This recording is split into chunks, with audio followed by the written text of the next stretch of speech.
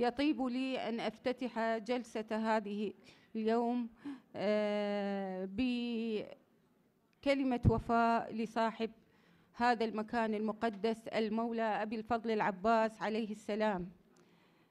قيل عن الإمام أبي الفضل العباس عليه السلام ورد عن أمير المؤمنين عليه السلام في وصف ولده أبي الفضل العباس قوله إن العباس بن علي زق العلم زقا.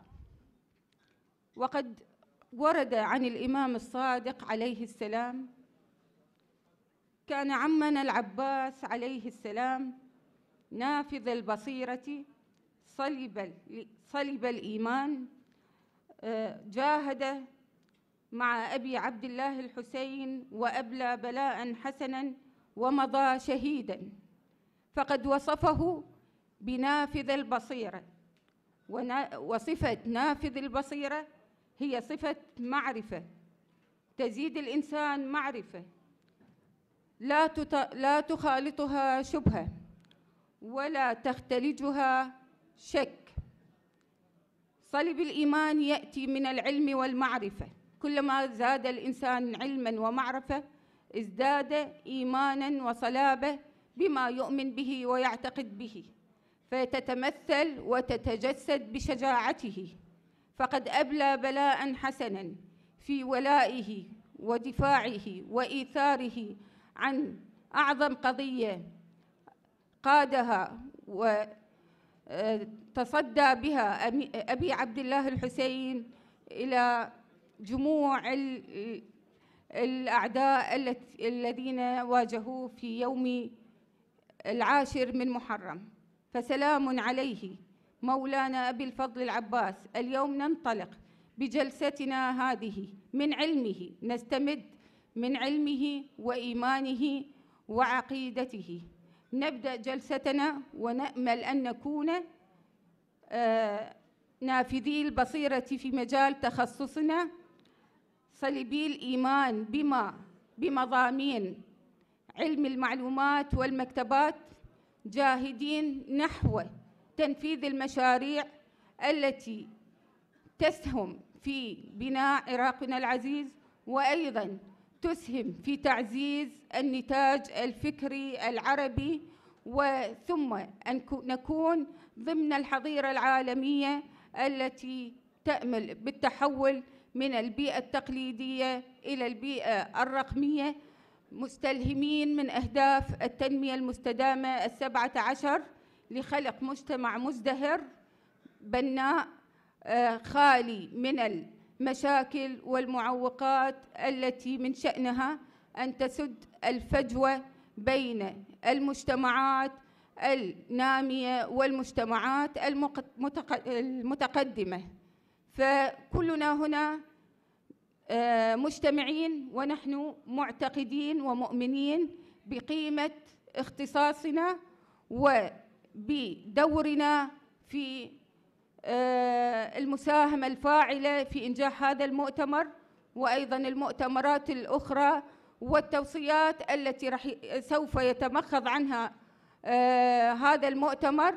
نأمل مشاركة الجميع في إبداء آرائهم ومقترحاتهم واليوم أنا سعيدة جدا بمساهمتي في هذه الجلسة مع نخبة قيمة من الباحثين الأعزاء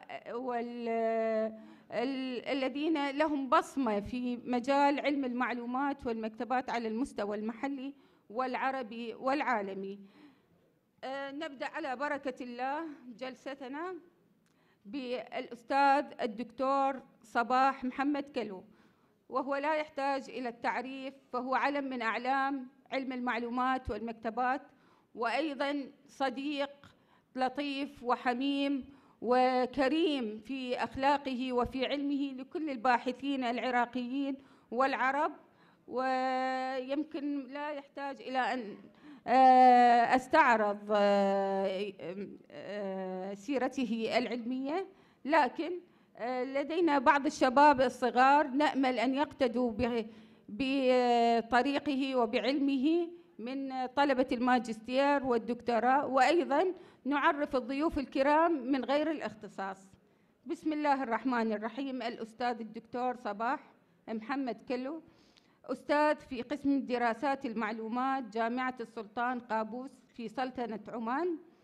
آه، حاصل على دبلوم عالي في علم المكتبات والتوثيق عام 1974 وهو وأيضا حاصل على مرتبة ماجستير في علم المعلومات آه، في قسم دراسات المعلومات جامعة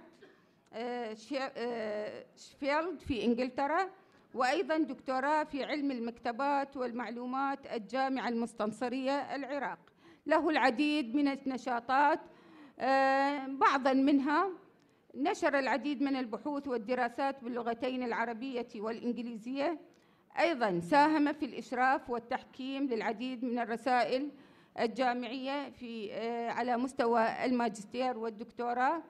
أيضا له اهتمامات آه، بحثية في المجالات في إدارة المكتبات الطبية الدراسات الببليومترية وأيضا نظم وخزن واسترجاع المعلو... نظم خزن واسترجاع المعلومات.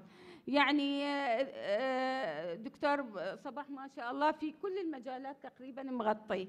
أستاذ شامل في مجال تخصصه. نرحب به أجمل ترحيب وفخورة جدا لأن أنا أحدى طالباته. آه، أن أكون أن أقدمه اليوم موضوع بحثه هو مفهوم الأنطولوجيا وتطبيقاته في مجال التحليل الموضوعي نظام يو إم انموذجا فليتفضل مشكورا في إلقاء بحثه بشكل آه، نبذة مختصرة ومقتضبة آه، للتعريف بموضوع بحثه. يمكن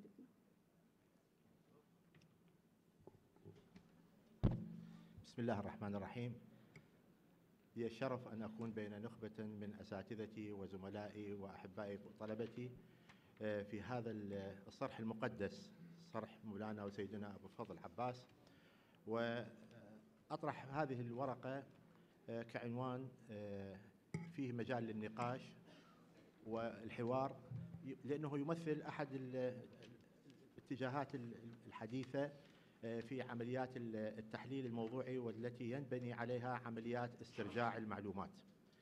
آه، الآن من المصطلحات التي طرأت آه، في العقد الأخير من هذا القرن مفهوم الأنتولوجيا. ومفهوم الأنتولوجيا كما تعرفون أحبتي هو مفهوم فلسفي بالأصل.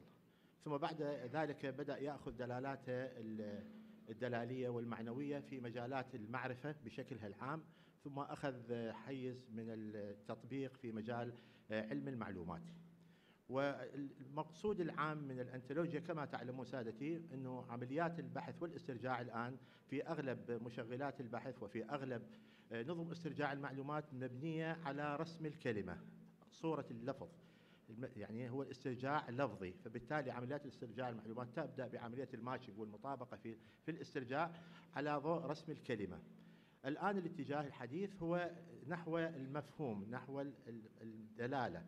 فبالتالي أنه أنت عندما تبحث عن موضوع معين آه، تبحث من خلال هذا مفهوم هذا المصطلح. فهنا أصبحت عدة الإشكالية أنه المصطلح الواحد له جانبين من الدلالة. الجانب الأول هو الجانب اللفظي اللي هو للكلمة أصل وجذر واشتقاقات كمصدر. هذا جانب. فبالتالي إنه أنت من تبحث عن موضوع معين تبحث عن هذا الموضوع ومع آه، ما يتبعه من آه، جذور ودلالات لهذا اللفظ. هذا جانب. الجانب الآخر لنفس المصطلح له دلالات بعيدة جدا عن الجذر وإنما دلالات تتفق في المعنى تتفق في المفهوم. أمثلة كثيرة حقيقة في لغتنا العربية وفي اللغة في اللغات الأجنبية. عندما تأخذ كلمة الأصل اللغوي نهر نون ها راء النهر في اشتقاقاتها لها دلالات متعددة آه، اللي هي منها النهار والنهر وغيرها من فإذا هنا هذا الأصل اللغوي له ألفاظ متعددة هذا من جانب. الجانب الآخر هذا الأصل اللغوي له معاني مترادفة يعني النهر هو المجرى الماء هو النبع هو نسميه الشط بعبارتنا فإلى دلالات أخرى فبالتالي إذا هنا عندما تبحث في الوقت الحاضر في أغلب مشغلات البحث عن لفظة معينة اللي رايح يأتي يأتيك هو ما يقارب أو ما يطابق اللفظ ولا يأتيك ما يطابق المفهوم والمعنى. جاءت مفهوم الانتولوجيا هنا للربط بين هذين الجانبين بين جانب اللفظ للمصطلح وألفاظ المتعددة والألفاظ الأخرى اللي هي تنطبق مع هذا المصطلح في مجال المعنى في مجال المعنى. هذا من الجانب اللغوي. أنا أتكلم الآن في الأنتولوجيا اللي هي أحد أشكال آه، تطبيقاتها هي في الجانب اللغوي. وحصل عندنا في هذا الإطار آه، بدأت عدد كبير من البرمجيات في هذا الجانب. يعني في اللغة الإنجليزية عفوا مدى يشتغل الدكتورة مدى. تشتغل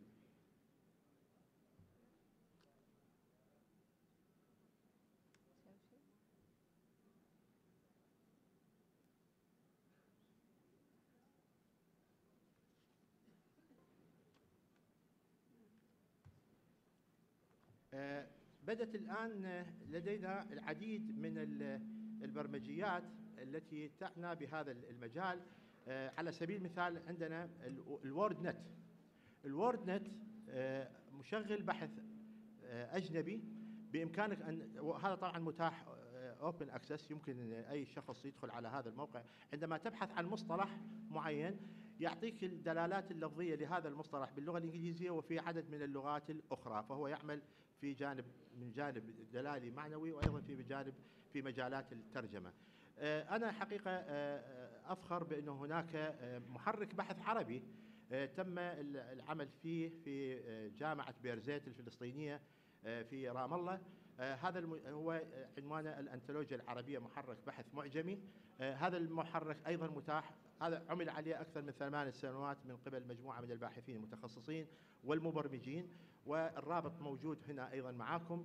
آه، لا أريد أن أطيل لأنه موجود في البحث يمكن الدخول عليه. في هذا الرابط آه، هنا يؤكد على هذين المفهومين اللي تحدثت لكم عنهم اللي هو الربط بين لفظ الكلمة وجذرها وبين فمن تأخذ مصطلح معين تبحث في هذا المحرك راح يجيك المصطلح ودلالاته وارتباطاته.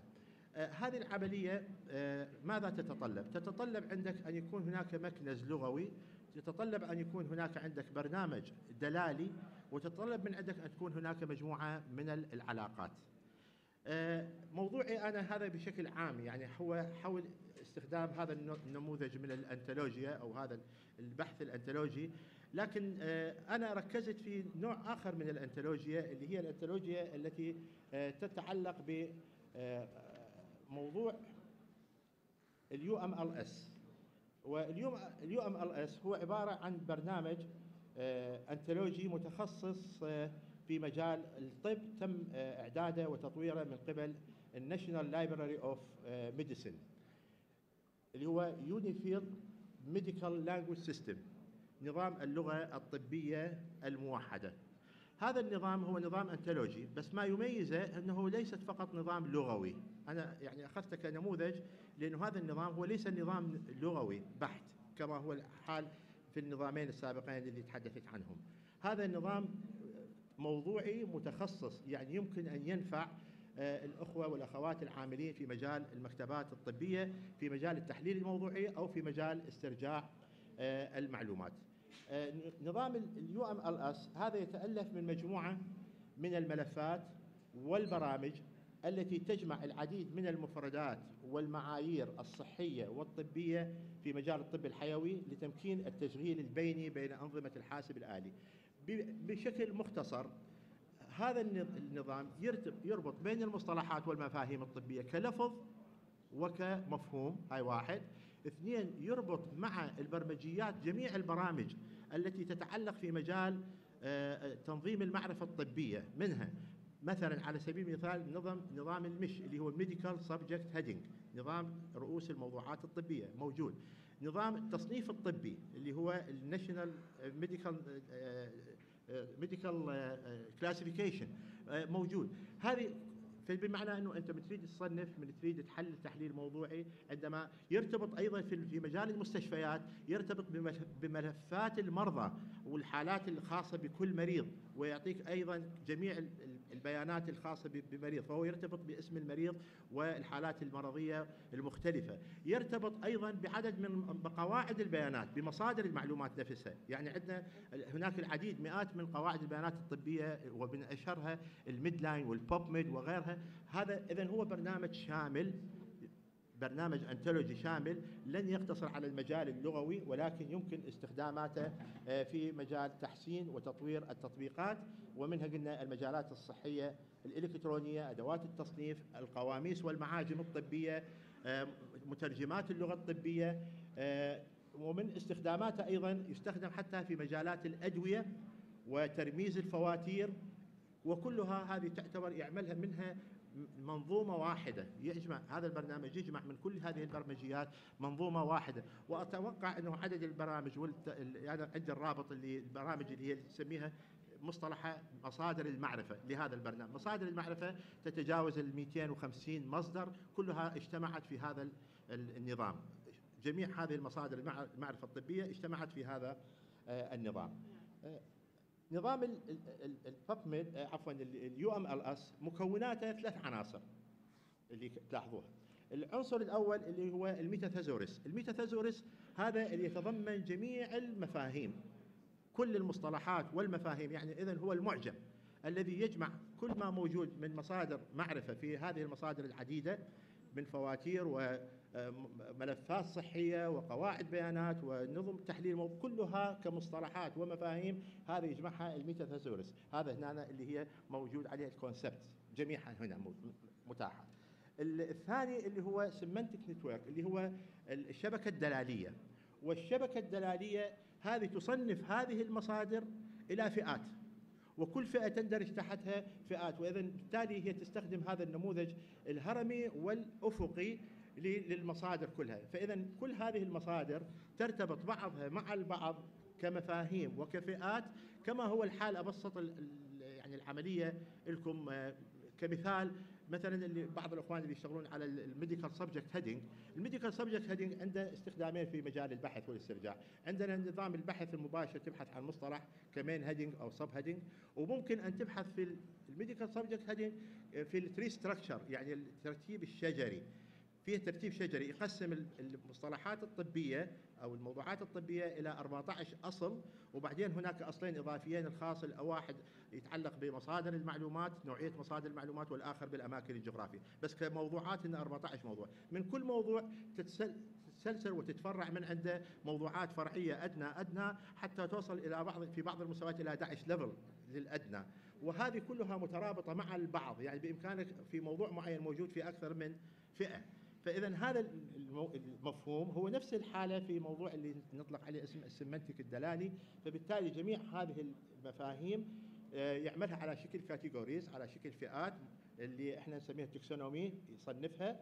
وبالتالي آه، يعمل فيما بيناتها هذه العلاقات البينية العلاقات الربط اللي تربط بين هذه المصطلحات.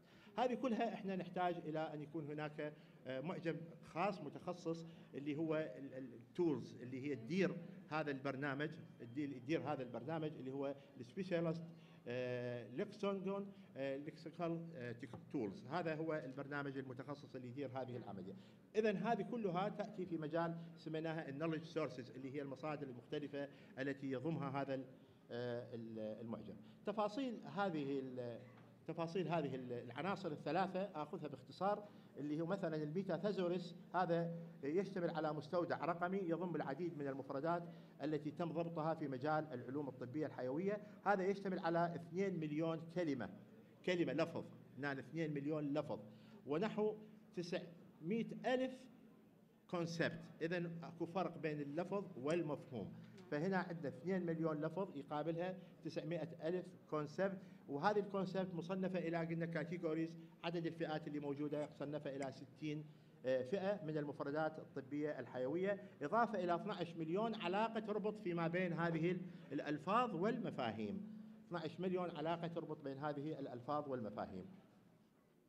يزود هذا ال Metathesaurus مخطط بنيوي يتضمن هذه المفردات مما يمكن المستفيد من الترجمة بين مختلف أنظمة علوم المصطلحات. ويمكن النظر إليه كقاموس شامل وكعلم وجود لمفاهيم الطبية الحيوية.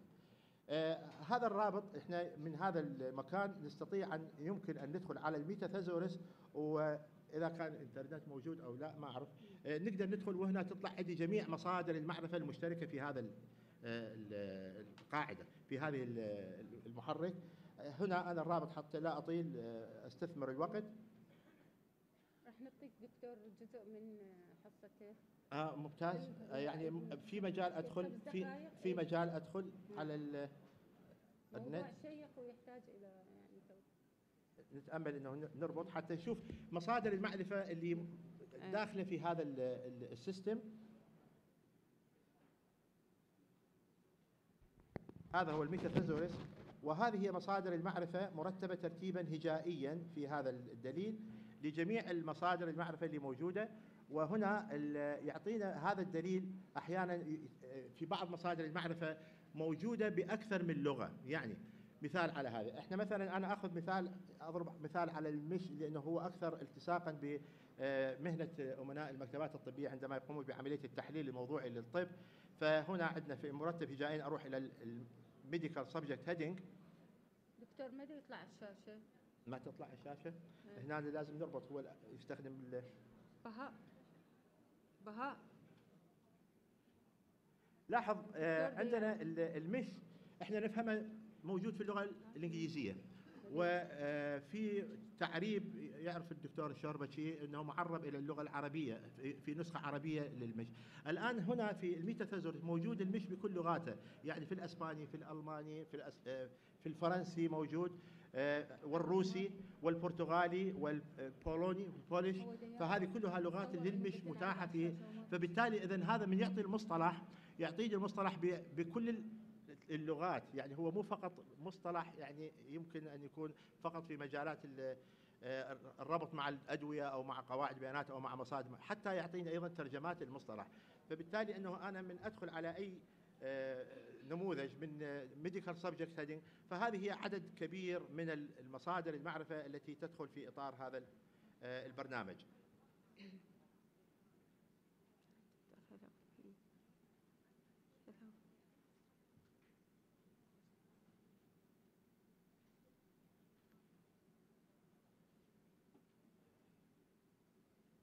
طلعنا من البحث مالنا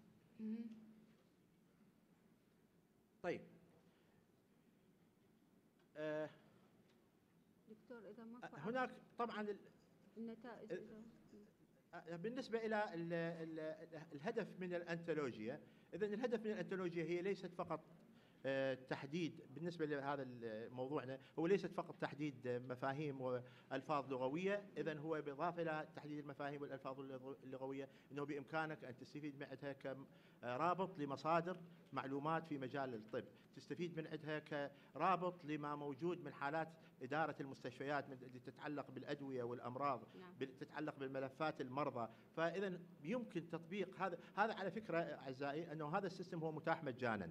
يعني ما يتطلب من عندك اشتراك كل ما هناك إنه تعمل account على هذا ال system وبالتالي يمكن أنه آه، تدخل عليه. ولذلك آه، توصيتي يعني التوصية الأساسية اللي أضعها في هذا المحفل إنه نعمل دورات آه، على هذا البرنامج. هذا جدا مهم وخاصة لأمناء المكتبات الطبية المتخصصين في مجال الطب يعني حتى يدخل في مجال الأطباء الصيادلة التمريض آه، ذولا كلهم بحاجة إلى أن يستخدمون هذا البرنامج. وبالتالي إذا طبقناه في إدارات مستشفياتنا الطبية إحنا راح نكون نستطيع أن نقدر نلم بكل جوانب آه، الطب والعلوم الصحية.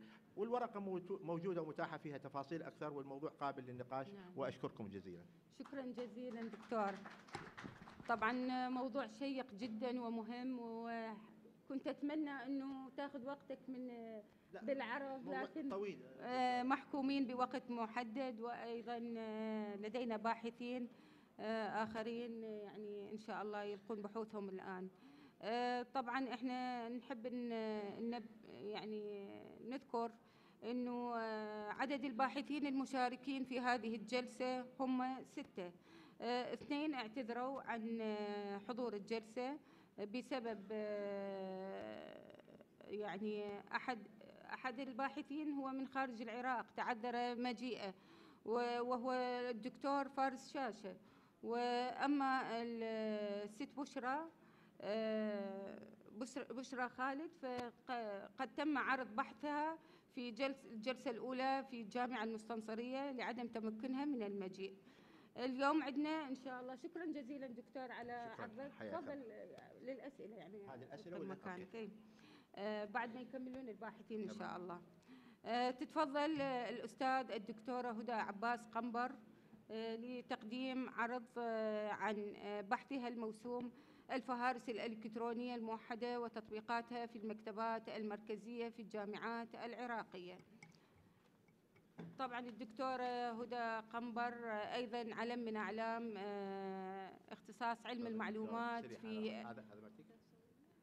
في العراق. وإن شاء الله أن تكون على مستوى العربي والعالمي. آه، نبدأ مختصرة آه، عن سيرتها الذاتية. تدريسية في كلية التربية ابن رشد للعلوم الإنسانية جامعة بغداد. وأيضا رئيسة تحرير مجلة الدراسات المستدامة عضوة هيئة إدارية واستشارية في العديد من المجلات العراقية منها مجلة الجمعية لاختصاصي المعلومات والمكتبات والتوثيق العراقية وأيضا مجلة بيت الحكمة ومجلة منتدى السلام الدولي ومجلة الأطروحة ومجلة بابير التركية. لها العديد من النشاطات والمساهمات الفاعلة في المؤتمرات والندوات وأيضا آه، في المحافل العلمية. أكثر من 25 بحث منشور في المجلات العلمية وأيضا آه، مشاركة لها في العديد من آه، المحافل الدولية.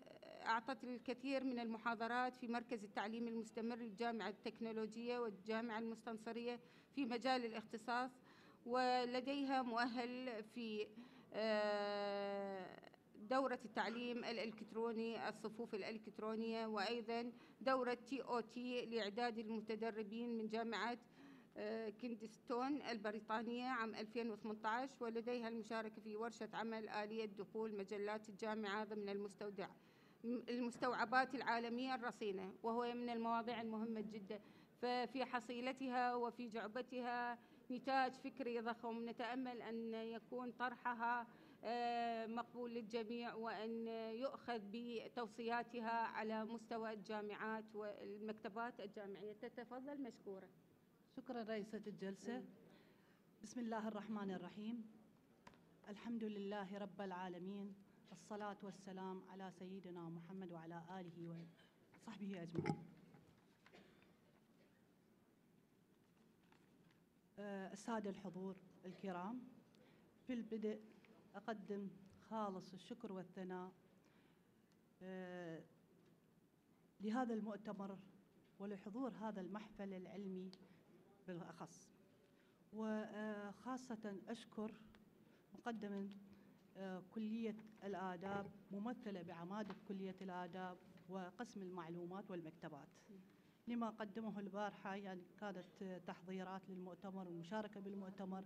بالخصوص أيضا أقدم بالشكر والثناء إلى العتبة العباسية ممثلة بمركز الفهرسة والنظم المعلومات لما قدمه البارحة واليوم من الضيافة والكثير من الأمور أيضا أقدم الثناء للاتحاد العربي لجمعيات المكتبات العربية ممثلة بدكتور خالد الحلبي آه، أيضا هذا الشكر والثناء سمح لي بالمشاركة بهذا المؤتمر العلمي التخصصي. بحثي بعنوان الفهارس الإلكترونية. اللاقطة. إية. آية. إيه. الفهارس الإلكترونية الموحدة وتطبيقاتها في المكتبات المركزية في الجامعات العراقية. طبعا كان اختياري لهذا الموضوع كوني تسنمي منصب الأمين العام للمكتبة المركزية لجامعة بغداد في البدء. تجربتي دخلت هذه خلينا نقول هذا المنصب وتسنمي وجدت عدة آه، اشتراكات للمكتبات المركزية وعدة خلينا نقول مشاريع بحث آه، في الاشتراك بالفهارس.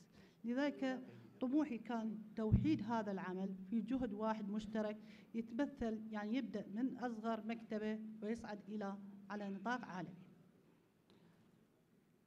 طبعا بالاشتراك هذا بحثي مؤسسة نهاية.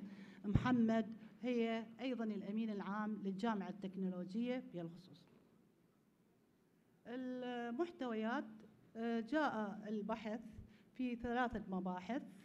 آه، تناول الأول الإطار العام للدراسة. المبحث الثاني الإطار النظري للدراسة. المبحث الثالث وهو الإطار العملي للدراسة. ثم الخروج بالاستنتاجات والتوصيات والمقترحات. وقد تكون المقترحات موضعت ضمن خلينا نقول الملخص. بالأخير أنظفتها دائما إحنا محكمين خلينا نقول بالعرض وبالفورمة للمؤتمر. التمهيد في ظل التطورات المختلفة وعصر المعلومات والتقنيات دعت الحاجة إلى التعاون بين المكتبات لصعوبة استيعاب أي مكتبة لكل ما ينشر في العالم من معلومات. لذلك تجسد هذا العمل بالاستثمار الأمثل للتكنولوجيا الحديثة المتطورة فيما يتعلق بالمكتبات من خلال تشكيل أنظمة معلومات وطنية ودولية. هذا التشكيل صار على نطاق خلينا نقول القطر وتمثلت بمن؟ بالفهرس العربي العراقي الموحد وعلى نطاق الوطن العربي الفهرس العربي الموحد وتعتبر هذه من المشاريع القومية التي تسعى إلى ربط المكتبات على مستوى القطر العراق وعلى مستوى الوطن العربي وعلى حتى التعرف بها على مستوى العالم. طبعا بها فائدة لتسهيل الاطلاع للباحثين والمستفيدين على مصادر المعلومات بأسهل الطرق وبأقل الوقت. آه، مشكلة الدراسة ذكرتها بالرغم أهم مشكلة كانت مدى بالإضافة إلى جانب يعني أريد أعرف مدى اشتراك ومساهمة المكتبات المركزية العراقية في الفهارس الإلكترونية الموحدة خاصة على النطاق العربي وعلى النطاق الأجنبي. أيضا ما مدى الوعي بأهمية الانضمام إلى الفهارس الإلكترونية الموحدة العربية والأجنبية؟ ما واقع واقع الانضمام خاصة مكتباتنا الجامعية بالفهرس العراقي وإذا كان الفهرس العراقي والفهرس العربي وهي تعتبر هل اشتراك المكتبات المركزية الجامعية أساسي ورئيس بالنسبة للفهرس العربي الموحد. آه، أهداف البحث انطوت على نفس التساؤلات التعريف بالفهارس الإلكترونية الموحدة بيان أهمية الاشتراك بها التعرف على الفهارس أنا أخذت نماذج من المكتبات خلينا نقول الفهارس والتجارب العربية خاصة فيما يتعلق اشتراك الجانب الجامعي يعني الجامعات. إيش قد اشتراكها بالفهارس؟ استعرضت نماذج من المكتبات على نطاق خلينا نقول العالم العربي وعلى نطاق الأجنبي. التعرف على أيضا التعرف على أهم نقطة بها تعرف مشاركة المكتبات الجامعية للجامعات العراقية بالفهرس بالفهرس طبعا العراقي والفهرس العربي الموحد آه، منهج الدراسة أترك هو منهج مسحي وأكيد مقابلات صارت ويا المسؤولين عن الفهرس العراقي. العربي صحيحا إحنا ما تواصلنا تعرفنا عن طريق الموقع الإلكتروني إجرى مسح للموقع الإلكتروني للفهرس العربي الموحد. طبعا حترك الجانب النظري وأدخل للجانب العملي بالخصوص باعتبار موجودة في البحث. بس أشير إلى التجارب. أنشرت إلى تسع تجارب في مجال الفهارس الإلكترونية الموحدة وكانت أول المشاركات هي شبكة المكتبات المصرية آه، سنة 1998 بالإضافة لو رجعنا يعني الأحدث آه، اشتراك كان آه، الفهرس المشترك الجزائري وأيضا داخل ضمنها مكتبات جامعية وأكاديمية. لكن ما ذاكرين التاريخ وأنا عرفته حديث النشأة.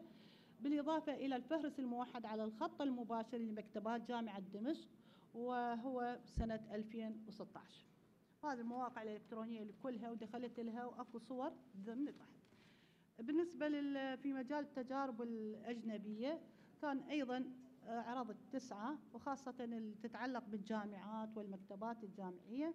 كان الفهرس العالمي ال WorldCat وهذا آه، بدأ طبعا ويا ال OCLC تاسس عام 1967 قد يكون قديما هذا البيئة. واخر ال- الفهارس ال- ال- تعرفون ال- المشاركات فهرس الموحد للمكتبات في فرنسا وأيضا هذه به مكتبات آه، قانون حديثه قصدي مكتبات جامعية. دكتور الإطار العملي ما يخالف هسه ارجع لي بس الإطار العملي وبعدين ارد بيها الإطار العملي طبعا ال- الإطار العملي خلال جينا نبحث بالإطار العملي. وخاصة من خلال الاستقصاء في شبكة الإنترنت عبر خلينا نقول المكتبات الجامعية وجدنا لا توجد محاولات لإنشاء فهارس موحدة بين المكتبات الجامعة على نطاق مكتبات جامعة واحدة. على نطاق مكتبة جامعة واحدة ماكو. أي أو, أو أي مؤسسة أكاديمية ما عدا الفهرس العراقي الموحد التي شاركت به عدد من المكتبات. أي مشاركات أيضا في الفهرس العربي الموحد. قديما كانت كلها محاولات للمشاركة في الفهرس العر- العربي الموحد قديما وحديثا ولم تتحقق لغاية إعداد هذا البحث. وأكو محاولات أخيرة خاصة الدكتورة فائزة بدت هسه في إعداد خلينا نقول على تعرفون دكتورة فائزة في وزارة التعليم العالي آه، ممثلة بدائرة البحث والتطوير. بدت آه، تقريبا تسوي بوابة للمكتبة الإلكترونية العراقية ضمن الفهرس العراقي العربي الموحد. آه، يرجع ذلك. قد يرجع سبب عدم توفر البنية التحتية لتطبيق وبناء قاعدة بيانات للفهرس الموحد وأيضا الظرف ال- خلينا نقول المادي المر به القطر في الفترة الأخيرة التي يحيل دون توفر المستلزمات الضرورية وصولا إلى الوقت الحاضر بخصوص يعني من الأجهزة ووسائل الاتصال اللي تتطلبها وإتاحتها للفهارس أيضا تقريبا بدت إحنا نقول قلة خبرة العاملين لا بالفترة الأخيرة بدت دورات مكثفة للبرامجيات وحاجتهم للتدريب والتأهيل ودخلوا كثير من المفهرسين وكثير من أمناء المكتبات للتدريب على نظم المعلومات بالخصوص ال- هستعرض بس الفقرات الطي للفهرس العراقي الموحد بدأ بسنة انطلق أول مرة في 29 12 2016 طبعا من قبل قسم الشؤون الفكرية والثقافية في العتبة الحسينية المقدسة والاعتماد على الجمعية العراقية لتكنولوجيا المعلومات كجهة استشارية. انطلق في البداية بسبع مكتبات. بعد مرور عام صار اجتماع بها. آه، صارت أكثر من 18 مكتبة بها. آه، من ضمن هاي 18 12 مكتبة جامعية. آه، هذا الموقع وهذا التطور. إحنا البحث مالتنا دخلنا في سنة آه، في تاريخ 22 7 2018 وجدنا تحت خلينا نقول الفهرس فقط ست مكتبات آه، منها فعلية. بقية المكتبات ال- الأثر 18 كانت المكتبات قيد الإضافة. لذلك اتصلنا بهذه المكتبات. القيد الإضافة آه، كانت شنو؟ تعديل بالتسجيلات البيبليوغرافية واستكمالها وحذف المكررات بغرض ضبطها بالشكل الأمثل. ثم إعادة رفعها للبيئة أنا حترك هذا بس أريد أذكر هذا قد يكون ما موجودة. آه، في عام يعني يعني الشهر الواحد من سنة 2019 دخلت ظهر الفهرس بحلة جديدة. يعني أكو تعديل لهذا الموقع. وأكو فد خلينا نقول خلينا نقول آه، بها إدامة لهذا الموقع. لذلك ظهر بحلة جديدة شملت كتب ومجلات وأطاريح بهالخصوص ال- الفهرس العربي الموحد ماكو داعي يعني هواية كثير من الأدبيات عرفت به. بس أحب أن أركز على بعض النقاط الأساسية. الجهة المسؤولة والمشرفة على الفهرس هي مكتبة الملك عبد العزيز العامة بالتعاون مع شركة نظم المعلومات نسيج. وتم إطلاقه آه، كرسميا سنة 2017 موقع رسمي. لحد ما عدينا البحث وجدنا 11 دولة بوابة ل 11 دولة عربية لكن عدد المكتبات 106 مكتبة داخلة ضمن هذه البوابة. عدد التسجيلات كثيرة ضمن هذه البوابة. هاي البوابة هنا. زين وجدنا محاولات ال- ال- المكتبات المركزية الجامعة المشاركة ضمن الفهرس العربي الموحد. بدأت من سنة 2013 ووصولا إلى الوقت الحاضر وهاي موجودة بالهذا ما حستعرضها لأن حننتقل بهم. يعني ابتدت من التدريب ومن الدخول وخاصة بدايتها كانت في جامعة الموصل وانتهت بجميع الجامعات. ال- أهم النتائج آه، توجد مشاركات عدة لمكتبات الجامعات العربية في مجال إنشاء الفهارس الموحدة. وذكرنا بدأت من سنة 1998 ومشاركات لمكتبات الجامعات الأجنبية سنة 1971 الهدف الأساسي من الفهرس العراقي الموحد إيجاد بنية بيئة العفو تعاونية بين المكتبات آه، العراقية الحكومية والأهلية خصوصا مكتبات العتبات المقدسة والمكتبات الجامعية والمكتبات المتخصصة والمكتبات العامة والتي كانت بدايتها من 2016 وانتهاء للوقت الحاضر بعدها. وصل عدد المكتبات المشاركة بها 18 وهذا الدور ذكرنا لكم إياه. بالنسبة للفهرس العربي الموحد ذكرنا لكم توجد 11 بوابة حاليا من ضمنها السعودية والأردن والكويت والسودان وعمان والإمارات والمغرب والجزائر لكن لا توجد بوابة في الوقت الحاضر للمكتبة للمكتبات العراقية. قلت أيضا النقطة اللي ذكرناها سوف تدخل المكتبة الإلكترونية العراقية كان اتصلت بالدكتورة فائزة قالت في مطلع القرن يعني 2019 العمل آه، جاري على إدخالها ضمن الفهرس العربي الموحد أهم التوصيات توحيد العفو أهم التوصيات توحيد الجهود الرامية لبناء فهرس عراقي موحد. أني على نطاق الجامعات المكتبات الجامعية للجامعات العراقية والمكتبات المتخصصة والعامة على مختلف المؤسسات العلمية والأكاديمية. أن يكون الفهرس العراقي الموحد بوابة ضمن الفهرس العربي الموحد الشارك بجميع المكتبات العامة والمتخصصة والأكاديمية. أيضا استحداث وحدة الفهارس الموحدة. نتيجة يعني خاصة كأمين عام وجدت عمل هذا العمل خلينا نقول خاصة الاشتراكات بالفهارس. آه، يجب استحداث وحدة تتضمن وحدة الفهارس الموحدة ضمن شعبة الإجراءات الفنية لهيكلية المكتبات الجامعية. بهدف إدارة الاشتراك بالفهرس العراقي الموحد والاشتراك بالفهرس العربي الموحد وإدخال التسجيلات وتحديثها باستمرار. أيضا الجانب المهم همينه إعداد أدلة تعرف بالمكتبات الجامعية المركزية للجامعات العراقية وتتضمن بيانات عن شعب ووحدات المكتبة والخدمات اللي تقدمها وتعرف بالمكتبيين وتضمينها ضمن الخارطة الرقمية للمكتبات. تعرفون الخارطة الرقمية هسه تتحدد وجود المكتبات إذا كانت جامعية وإذا كانت متخصصة وإذا كانت عامة وحبذا أن تكون هناك دليل تتضمن بهذا الوجود خرجت بمقترح وهذا المقترح قد يكون مو موجود ضمن الكتيبات اللي عندكم. أه، يجب توحيد الجهود الرامية إلى بناء فهرس عراقي موحد بالاتفاق. أنا وجدت عدم اتفاق يعني تصير جهود مبعثرة بين عدة جهات. لذلك خل خل نوحد هذه الجهود بين مدراء المكتبات الجامعية والأكاديمية والعامة والمتخصصة. رؤساء وأساتذة أقسام المعلومات والمكتبات همينة لهم دور كبير في تحديد خلينا نقول والدخول بذهن.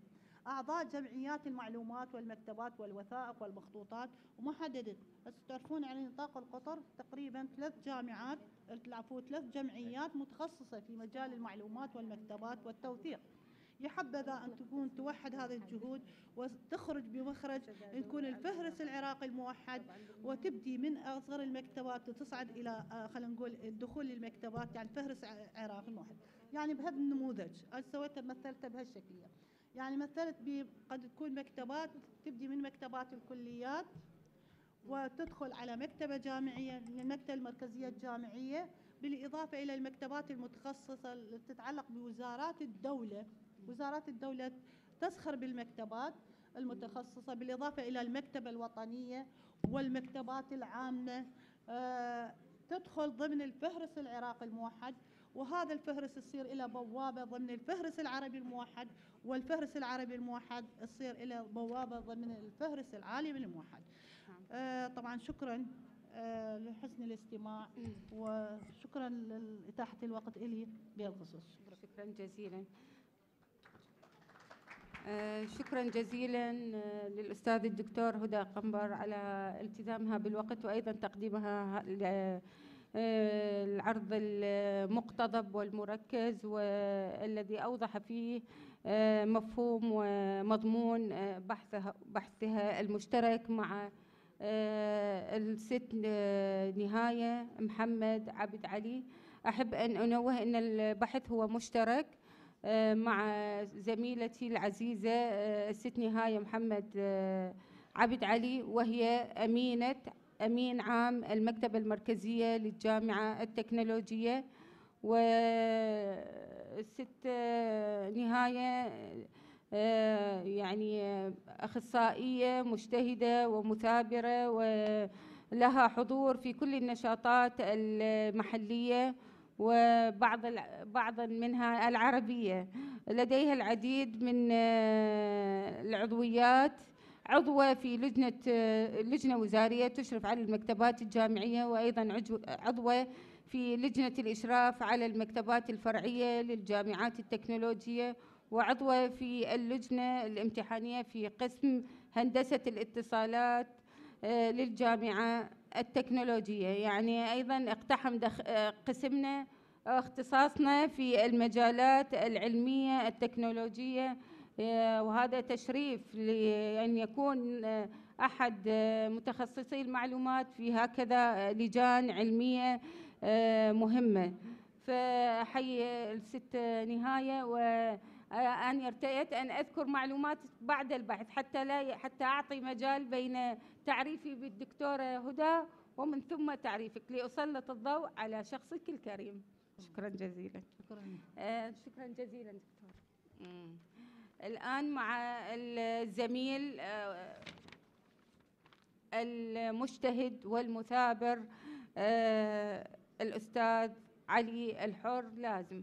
وهو أيضا نموذج نعتز به ونفتخر آه، كونه هو أحد أعضاء الهيئة التدريسية في قسم الحاسبات في كلية التربية الأساسية. وهذا أيضا نموذج ممكن أن نفتخر به كونه اقتحم تخصص قد يم آه، كان لنا باع طويل في وصراع طويل في كيفية إثبات وجودنا مع المتخصصين في علم الحاسوب وعلم البرمجة وغيرها. فأثبت جدارته في مجال البرمجة وتصميم النظم وكان أحد الأعضاء النشطين والمساهمين في قسم الحاسبات وهو الآن آه، أيضا مكلف بإدارة المكتبة المركزية لكلية التربية الأساسية. آه، أحب أن أعطي سيرة آه، مختصرة عن الأستاذ علي الحر لازم آه، التميمي. الوظيفة الحالية هو أستاذ مادة قواعد البيانات قسم الحاسبات كلية التربية الأساسية الجامعة المستنصرية. له نشاطات عديدة منها هو مقرر الجمعية العراقية لتكنولوجيا المعلومات. وبالمناسبة جمعية الجمعية العراقية لتكنولوجيا المعلومات آه، هي جمعية تضم في ضمن أعضائها كل التخصصات التي تصب في مجال تكنولوجيا المعلومات آه، في المتخصصين في علم الحاسوب والأنظمة والبرمجة. الآلية وأيضا اختصاص الرياضيات وأيضا اختصاص علم المعلومات والمكتبات والكثير من التخصصات التي لها اهتمام في هذا المجال. آه، أيضا له تأليف كتاب التحولات من الأنظمة الآلية المغلقة إلى المفتوحة المصدر في المكتبات الجامعية عام 2019 عضو جمعية المخترعين العراقيين. فقد يعني سرني إنه آه، تم آه، يعني آه، يعني لديه محاولة في اختراع أو برمجة. نأمل أن يوضح لنا الفكرة عنها. وبعد التقييم تم اختياره وضمه إلى عضوية جمعية المخترقين العراقيين. وهذا فخر يعتبر انه في مجال اختصاصنا. أيضا له بحوث منشورة منها خصائص الإفادة من نظام الويني آيسيس في المكتبات الجامعية العراقية وتصميم نظم إدارة المعلومات في المكتبات الجامعية. أيضا عند النظم الآلية هو متخصص في النظم الآلية المفتوحة تقريبا يعني. عندنا الكثير من البحوث اللي تصب في هذا المجال منها إعادة الهندسة هندسة العمليات لزيادة إنتاجية شعب النظم الآلية في المكتبات الجامعية. فليتفضل مشكور بتقديم عرض آه، مقتضب وأيضا الالتزام بالوقت. آه، عنوان البحث هو تسوية البيانات الضخمة في مؤسسات المعلومات. تفضل. بسم الله الرحمن الرحيم. طبعا أول شيء أقدم شكر جزيل إلى استاذتي وزميلتي العزيزه الدكتوره ازهار على هذا التقديم الرائع. تستاهل. وان شاء الله يكون عند حسن الله ظنكم يخليك. بالمناسبة اخوانا بالنسبة لموضوع البحث اليوم هو تسوية البيانات الضخمة في مؤسسات المعلومات اجى البحث مالنا عن طريق عرض مستخلص وإطار صغير هو تعريف البحث والجانب الثيرتيكال مالته مختص بالبيانات الضخمة تعريفها ومؤسسات المعلومات وعملية تسوية البيانات أو ما يطلق عليها بالغالب الاعظم هو إعادة هيكلية البيانات. أخوان مثل ما نعرف قبل كانت المكتبات الجامعية أو أي مكتبة مشكلتها الرئيسية والأساسية هي جمع وحصر النتاج الفكري اللي موجود على قدر المستطاع.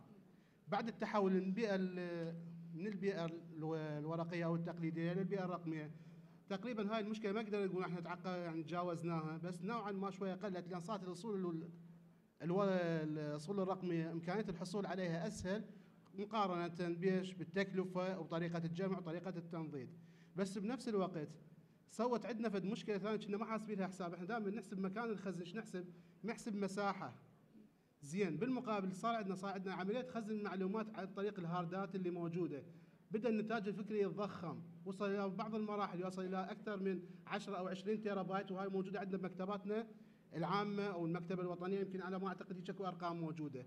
زين هل من المعقول البيانات اللي موجودة وخزناها هي بهذا القدر الكبير من حجم البت والبايت اللي موجود عندنا خزناه عن طريق النظام ال binary أو نظام الاو 1 01 إحنا مثل ما نعرف أي عملية تخزين تبدي من أصغر وحدة رئيسية موجودة بالحاسبة اللي هي البت اللي هي عبارة عن نبضة كهربائية 5 فولت أطفاء وتشغيل إلى أن تمتد إلى البايت والكيلو بايت والميجا بايت والجيجا إلى آخره إلى أن توصل للزيتا بايت أو أعلى من هذا المق- المقدار.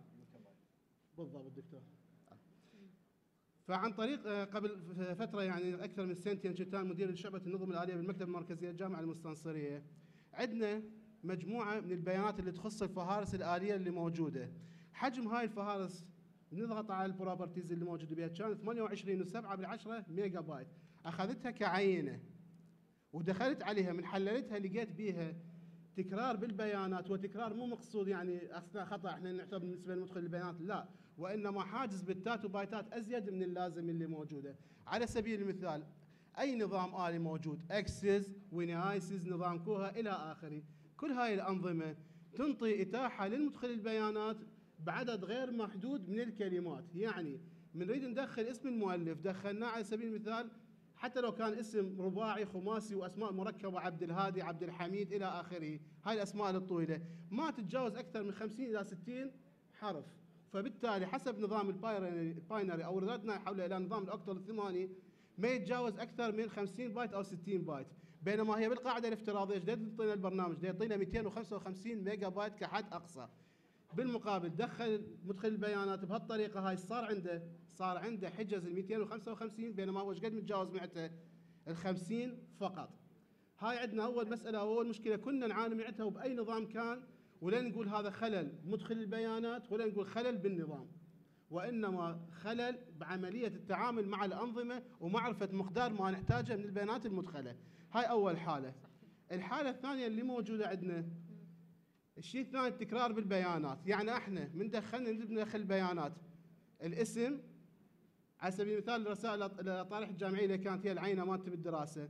لقيت الحقل الأول اللي هو الاسم الحقل الثاني العنوان الخاص بالشكل المطبوع المشرف إلى آخره البيانات. ويبقى يبقى عندنا شنو؟ الجامعة. الجامعة المستنصرية وحاجزها 255 بايت. الكليه كلية الآداب حاجزها 55 255 بايت. تكررت عندنا هاي العملية وصار عندنا عملية تكرار بالبيانات غير مبرر. فلهذا أكو طريقة موجودة هي تغيير المعماريه الموجودة بالبيانات بدون أن تفقد قيمتها العلمية. طبعا بالمناسبة كان المنهج هو منهج استخدمت منهج ال survey ومنهج ال training من خلال الأول من خلال الاطلاع على النتاج الفكري الموجود والمنهج الثاني استخدمته هي عملية التجربة وشفت قياس مقدار اللي قلت عندنا بالضوضاء اللي موجودة قواعد البيانات. بالمناسبة البيان إحنا هسه يعني يسأل سؤال يعني هي 28 ميجا بايت وأنت حولتها إذا قللتها واحد قللتها اثنين قللتها مو ذاك الرقم الموجود، إحنا هسه أخذناها كعينة إذا نريد نقارنها بشنو؟ بالبيانات الضخمة اللي موجودة اللي هي أساسا نفس طريقة التخزين اللي صارت بس على مستوى أوسع وأوسع من عندها. فلهذا البيانات الضخمة إذا يعني عرفتها بالجانب النظري تختص بثلاث مفاهيم أساسية اللي هي الحجم والسرعة والتنوع وتباين البيانات اللي موجودة داخلها.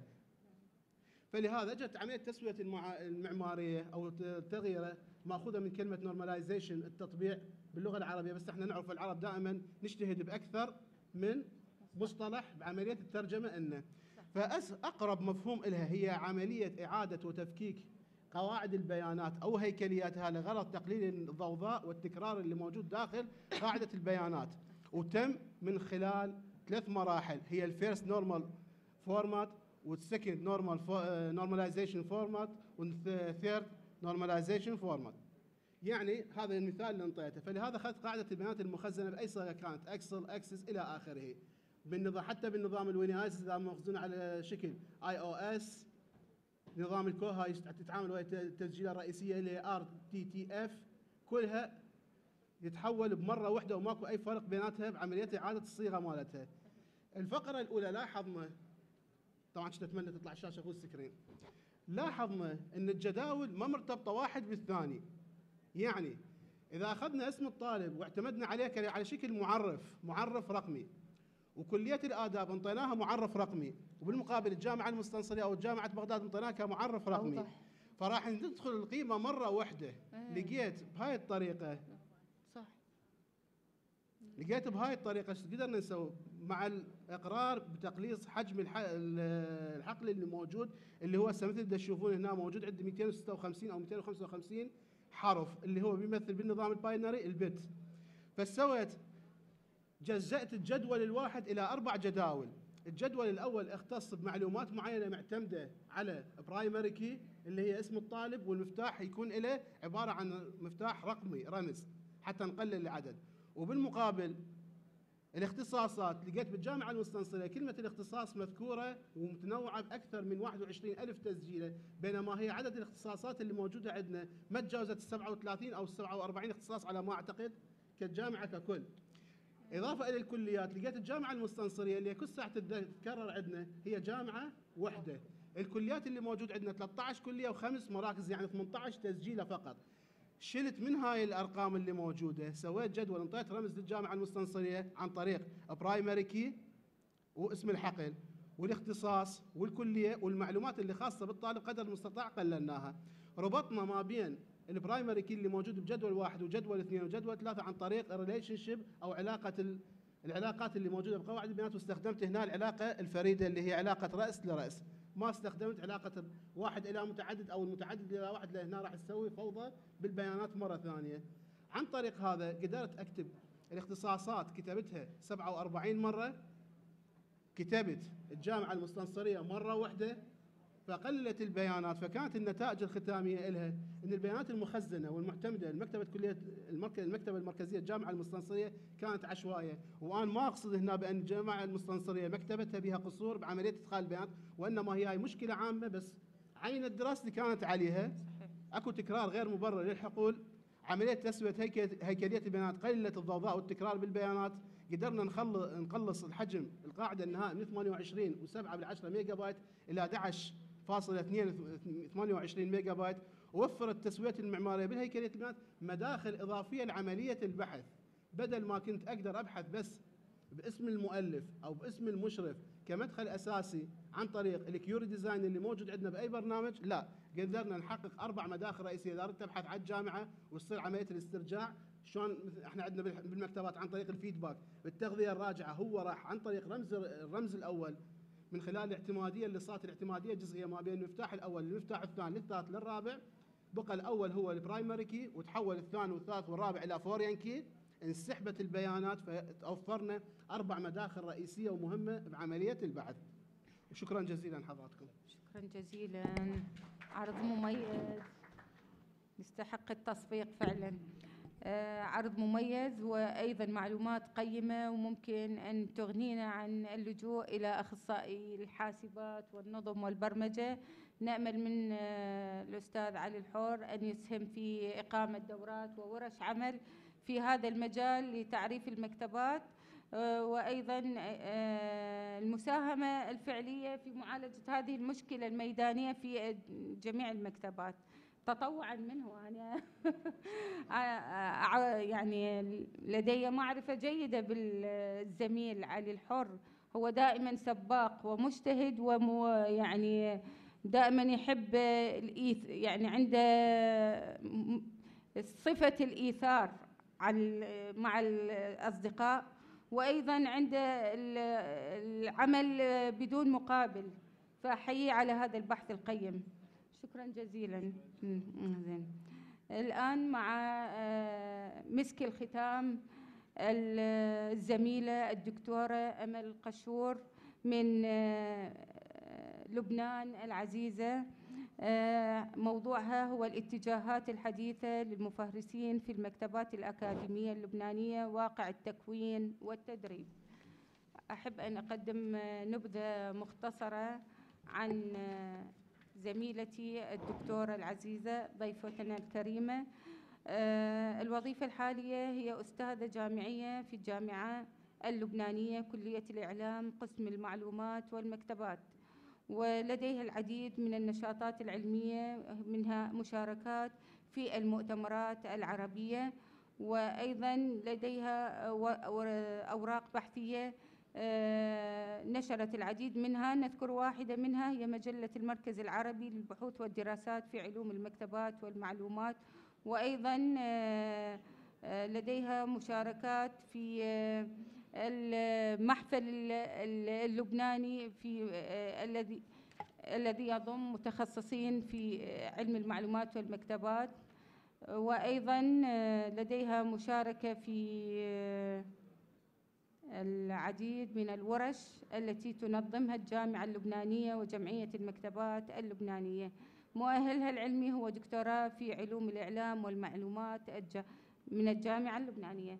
تتفضل مشكورة بإلقاء آه، فكرة البحث بشكل مختصر ومقتضب آه، لإطلاع الباحثين الحضور. السلام عليكم شكرا. شكرا جزيلا. آه، عنوان الدراسة هو الاتجاهات الحديثة للمفهرسين. لاقطة لاقطة في المكتبات الأكاديمية اللبنانية واقع التكوين والتدريب. آه، ساهمت البيئة الرقمية والتطورات التكنولوجية الحديثة التي عرفتها المكتبات بظهور العديد من التحديات لناحية تنظيم المعلومات وتبادلها في سبيل إتاحتها للمستفيدين إضافة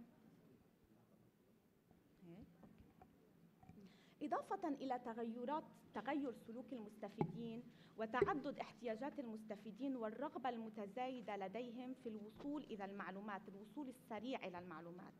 كما يشهد النشاط الببليوغرافي ومجال تنظيم المعلومات تطورات كبيرة وسريعة. ترافقت كل هذه التطورات وكل هذه التغيرات مع ظهور أنواع جديدة من القواعد المساهمة والمساعدة في وصف وإتاحة مصادر المعلومات.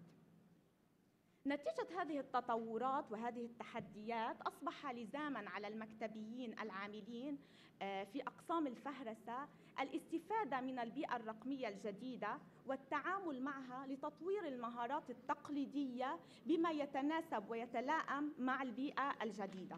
إضافة إلى الحاجة الماسة لتطوير القواعد المتبعة بشكل يمكن من استيعاب الأنواع والأدوار الجديدة وطلبات المستفيدين المختلفة. وقد أدت كل هذه التطورات إلى تغيرات في الخصائص الوظيفية للمفهرسين. تنطلق هذه الدراسة من مشكلة محددة وهي تقييم المسؤوليات الحالية للمفهرسين في المكتبات الجامعية وتحديد الأدوار الجديدة والكفاءات المطلوبة في البيئة الرقمية. تهدف هذه الدراسة إلى التعرف على واقع الفهرسة في المكتبات الجامعية اللبنانية في القطاعين العام والخاص ومدى استفادتها من تطورات تكنولوجيا المعلومات. إضافة إلى الطور المتغير للمفهرسين ومدى إلمامهم ودرجة الوعي لديهم بمعايير الفهرسة الجديدة ومتطلبات تطبيقها. إضافة إلى الهدف الآخر للدراسة وهو الدور الذي يقوم به قسم المعلومات والمكتبات في الجامعة اللبنانية لناحية تكوين أخصائيين ملمين بقواعد الفهرسة قادرين على التأقلم مع التطورات والتغيرات. انطلقت هذه الدراسة من خلال المنهج الوصفي التحليلي واعتمدت على الاستبيان كأداة لجمع البيانات والمعلومات من المفهرسين عينة الدراسة كما اعتمدت على المقابلة لجمع المعلومات من أساتذة كليات الإعلام قسم المعلومات والمكتبات للتعرف على آه، التوصيف توصيف مقررات آه، الفهرسة والتصنيف. قسم الاستبيان الذي وزع على المفهرسين إلى قسمين. القسم الأول آه، معلومات عامة مرتبطة بالأعداد بالمؤهلات بسنوات الخبرة. أما القسم الثاني فمرتبط بالكفاءات والمهارات والأدوار الأساسية للمفهرسين. وقد بلغ عدد المفهرسين الذين تجاوبوا مع هذه الدراسة 32 مفهرس موزعين على جامعات خاصة وعامة 14 منهم متخصصين بالفهرسة فقط من الجامعات الخاصة. 18 18 مفهرس من تسع جامعات تابعة للدولة اللبنانية الجامعة اللبنانية الأساسية يقومون بالأعمال المكتبية من ضمن أعمال الفهرسة. آه، سوف نستعرض عدد من النتائج التي توصلت إليها هذه الدراسة. آه، في الجزء الأول جميع المفهرسين الذين شملتهم الدراسة هم آه، من الأشخاص المتخصصين بعلم المعلومات والمكتبات وهذا يعكس التوجه آه، العام لدى المكتبات بتوظيف مكتبيين متخصصين على عكس ما كان رائجا في السنوات الماضية في لبنان خاصة بالجامعات التابعة للدولة. ومعدل سنوات الخبرة عشر سنوات وما فوق وهيدا دليل على الخبرة لدى المكتبيين آه، في أعمال الفهرسة. بالنسبة لأنواع المصادر المعلومات التي تفهرس فهي مصادر المعلومات المطبوعة بالتأكيد. أكثر من النصف يقومون بفهرسة مصادر المعلومات الإلكترونية وأقل من النصف يقومون بفهرسة مواد المستودعات الرقمية. وطبعا بعد التدقيق بالإجابات تبين أنه فهرسة مواد المستودعات الرقمية تحصل فقط في الجامعات الخاصة في لبنان. بالنسبة لمهام الأساسية للمفهرسين توزعت هيدي المهام بين فهرسة مصادر الفهرسة الأصلية لمصادر المعلومات فهرسة مصادر المعلومات الإلكترونية والفهرسة المستنسخة إضافة إلى الضبط الاستنادي واللي أخذ النسبة الأدنى عند المفهرسين. بالنسبة لإدخال البيانات والتحديث في الفهرس الآلي فكانت النسبة أقل من النصف. ويمكن السبب أنه الفهرس الآلي في الجامعة اللبنانية متوقف كان بالفترة الماضية وهلأ سيصار إلى إعادة تفعيله والعمل عليه. بالنسبة للمهارات التي يمتلكها المفهرسين في المكتبات الجامعية في لبنان فتوزعت المهارات بين بنسب جيدة ومقبولة وكانت المهارات اللي سألناهم عنها هي قواعد الفهرس الإنجلو أمريكية ل RDA مارك وصف المصادر الإلكترونية دبلين كور استخدام أدوات الفهرس الإلكترونية التحليل الموضوعي والضبط الاستنادي.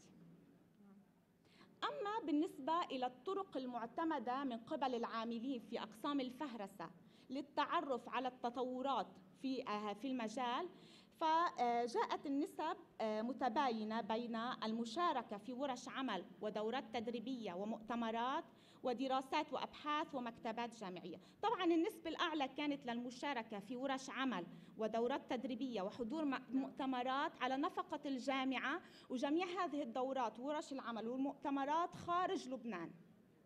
الأبحاث والدراسات نسبة مقبولة والتعاون بين المكتبات الجامعية آه، كان مقبول نسبيا. أما اللي كان عنده نسبة كثير متدنية فهو المبادرات الفردية لدى المكتبيين. لا يروحوا يشاركوا هن بأنفسهم بدورات للتكوين. وأخيرا النتيجة المرتبطة بقسم المعلومات والمكتبات في الجامعة اللبنانية. فعندنا آه، المنهج الجديد الذي بدأ تطبيق بدأ بتطبيقه في الجامعة اللبنانية من سنتين أدخل أربع مقررات مرتبطة بالفهرسه والتصنيف. فهرسه وصفية تصنيف معلومات فهرسه موضوعية وتلخيص metadata بيبليوغرافية وبناء المكانز. بهيدا المقررات التلميذ عم يتعلم كيفية التحول من AACR2 لل RDA metadata Dublin Core تحليل موضوعي آه، قواعد الفهرسة الوصفية الخاصة بفهرسة الكتب والدوريات حسب MARC إضافة إلى العديد من الموضوعات المرتبطة بالبيئة الرقمية.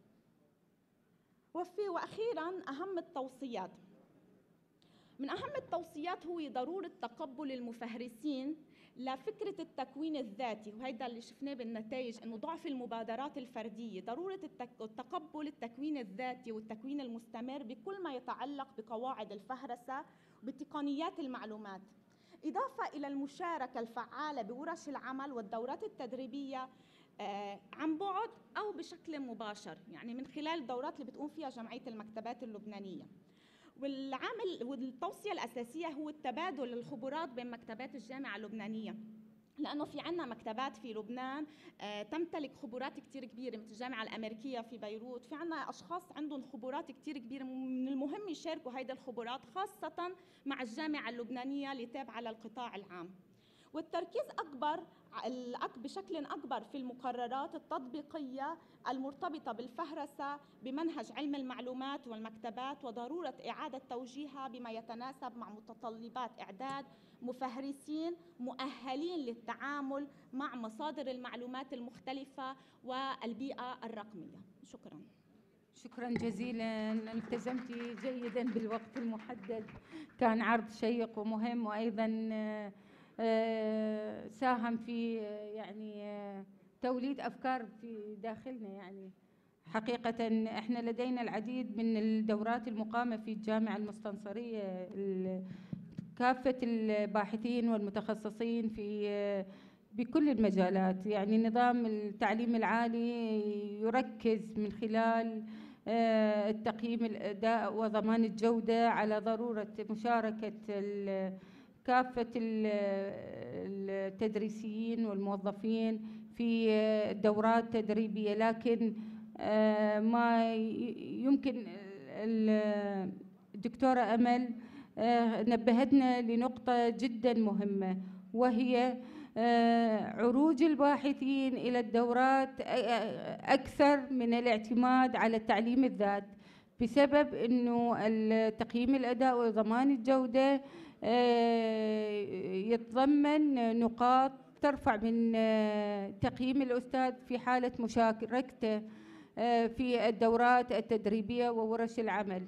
وهذا لكل عمل لابد أن يكون سلاح ذو حدين. يمكن هذه الفقرة أسهمت في تقليل يعني الاعتماد على الذات في تدريب الباحث أو الموظف أو المتخصص يعني في مجالات ممكن أن تضيف إلى اختصاصه إضافة جيدة. ويمكن سوق زحمة العمل وانشغاله في أمور كثيرة بين التدريس وبين المشاركات في ورش العمل وبين أيضا المتطلبات الأخرى لتعزيز وإثراء المادة الثقافية عنده والعلمية. أسهمت في يعني تقليل آه، إتاحة الوقت لتعليم الذات من خلال التعليم بالاتصال آه، يعني عن طريق شبكة الإنترنت أو قراءة آه، كتب التدريب وغيرها من المصادر اللي ممكن تعزز قابلياته وتأهله ذاتيا. فهي مشكلة مشتركة يعني. كلنا نعاني من هذا الجانب وهو كيفية آه، آه، رفع مستوى آه، التكوين الذاتي.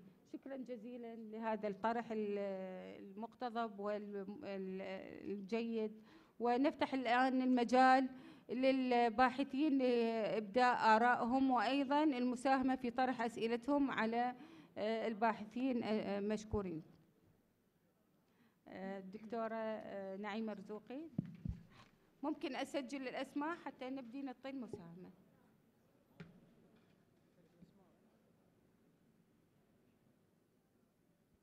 بعد. دكتور.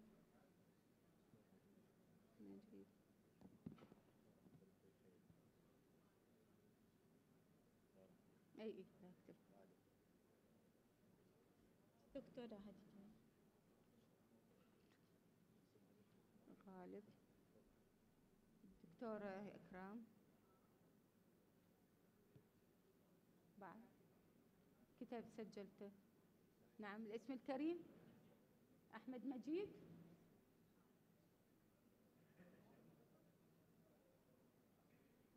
الحضور آه، من- سجلتك. ما- أحد يحب يطرح سؤال قبل ما نبدأ بال نعم. نبدأ بالدكتورة نعيمة رزوقي ونرحب بها أجمل ترحيب أستاذتنا الجليلة والكريمة ونورتي بغداد وكربلاء. سعيدين جدا بوجودك. شكرا لك شكرا لرئيسة. الجلسة وشكرا. للجميع. نعم. وأستميح الباحثين عذرا أرجو أن لا تكون ملاحظاتي قاسية بقدر ما هي ملاحظات علمية. أنا فخورة بطالبتي أن تكون على المنصة وتطرح ورقتها البحثية. نعم. ملاحظتي الأولى للدكتورة هدى. دكتورة هدى لو دخلت إلى جوجل لأن كنا نعرف جوجل. مم. وعملت search وإجاني مصدر ونقرت على المصدر وما طلع لي نص. عندئذ أترك المصدر في حالة العدم لأنه ما أنتفع من عنده. ولو رحت إلى محرك آخر اسمه دك دك جو. وأطلب من عنده نفس البحث راح يعطيني لي قدام تعريف بالموضوع وينطيني مو أكثر من 40 50 مصدر والمصدر ياخذني إلى كذا مصدر وينطيني نص. أيهما أفضل لي؟ أن أذهب إلى مصادر لن أنتفع بها أو إلى مصادر أنتفع منها. فمفهوم الفهرس الموحد كان هذا في نهاية الثمانينات بادرة رائعة جدا. لفائدتها إلى الجهتين. أولا لقضايا فنية قضايا توحيد في الفهرسة والتصنيف ثم قضايا أخرى لتبادل الإعارة والمستفيد لكي يعرف أين مكان الكتاب. ولكن الآن الفهرس الموحد للكتب الأجنبية كلها موجودة في قواعد بيانات. فالجهود الكبيرة التي تبذل في كل الكتب كفهارس موحدة أنا أراها أنه جهود تكرار آه، تسمحي لي لا جدوى لها. ولكن لو قلت أنا أحتاج فهرس موحد مثلا للمخطوطات والكتب النادرة وأسعى لربطها بمحتوى عندئذ ستكون هنالك فائدة كبيرة للعالم وللأجيال وللمستقبل. فهذا الذي نتأمله. وشكرا. السؤال الثاني إلى الدكتور علي. الدكتور علي أنا آه، حقيقة آه، مثل ما يقولون إنه استمتعت فيما عرضته ووجدت في العنوان مفهوم البيانات الضخمة ولكن ما تطرقت له هو الجاب ما بين الاختصاصي والمحلل والمبرمج. وهذه الجاب أو هذه الفجوة ركزت فيها على قضيتين. القضية هي العلاقة بين حجم العقل والحقل وبين ال data value فإحنا نستثمر الحقل بكامله 250 بايت ولكن هو لا يحتاج أكثر من 50 أو 60 فبالتالي إحنا لدينا بيانات قليلة ولكن استثمرنا لها مساحة كبيرة فليست لدينا بيانات ضخمة. المحور الثاني اللي تحدثت عنه هي قضية ال redundancy وخصوصا في ال relational database وال redundancy هي بسبب ال link إنه إحنا نكرر أكثر من شيء في حين إحنا ما نحتاج التكرار ولو ربطنا علاقات جيدة ما احتجنا للتكرار. في كلا الحالتين وكلا المشكلتين في قواعد البيانات ليست لهما علاقة لا من قريب ولا من بعيد في البيانات الضخمة. لأن البيانات الضخمة إحنا كمستفيدين حتى نفهمها بشكل صحيح. اليوم تجينا رسالة بالواتساب أدزها لمجموعة مية وواحد من المية يدزها لخمسين وواحد من الخمسين يدزها لثلاثين ومن بين الثلاثين أنا. فلما تجيني مرة ثانية بالتكرار أقول الرسالة اللي دزيتها رجعت لي وأمتعض إلى حد ما أو لا أكترث لها أو عن طريق المدونات وغيرها. فالبيانات الضخمة هي. اللي هي تولدها الأجهزة واللي هو يصبح فيها المستفيد. هو الناشر وليس.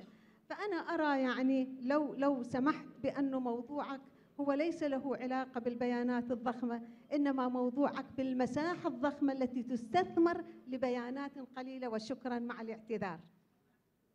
شكرا جزيلا. نفتح المجال للدكتورة هدى تجاوب نعم. دكتورة هدى تجاوبي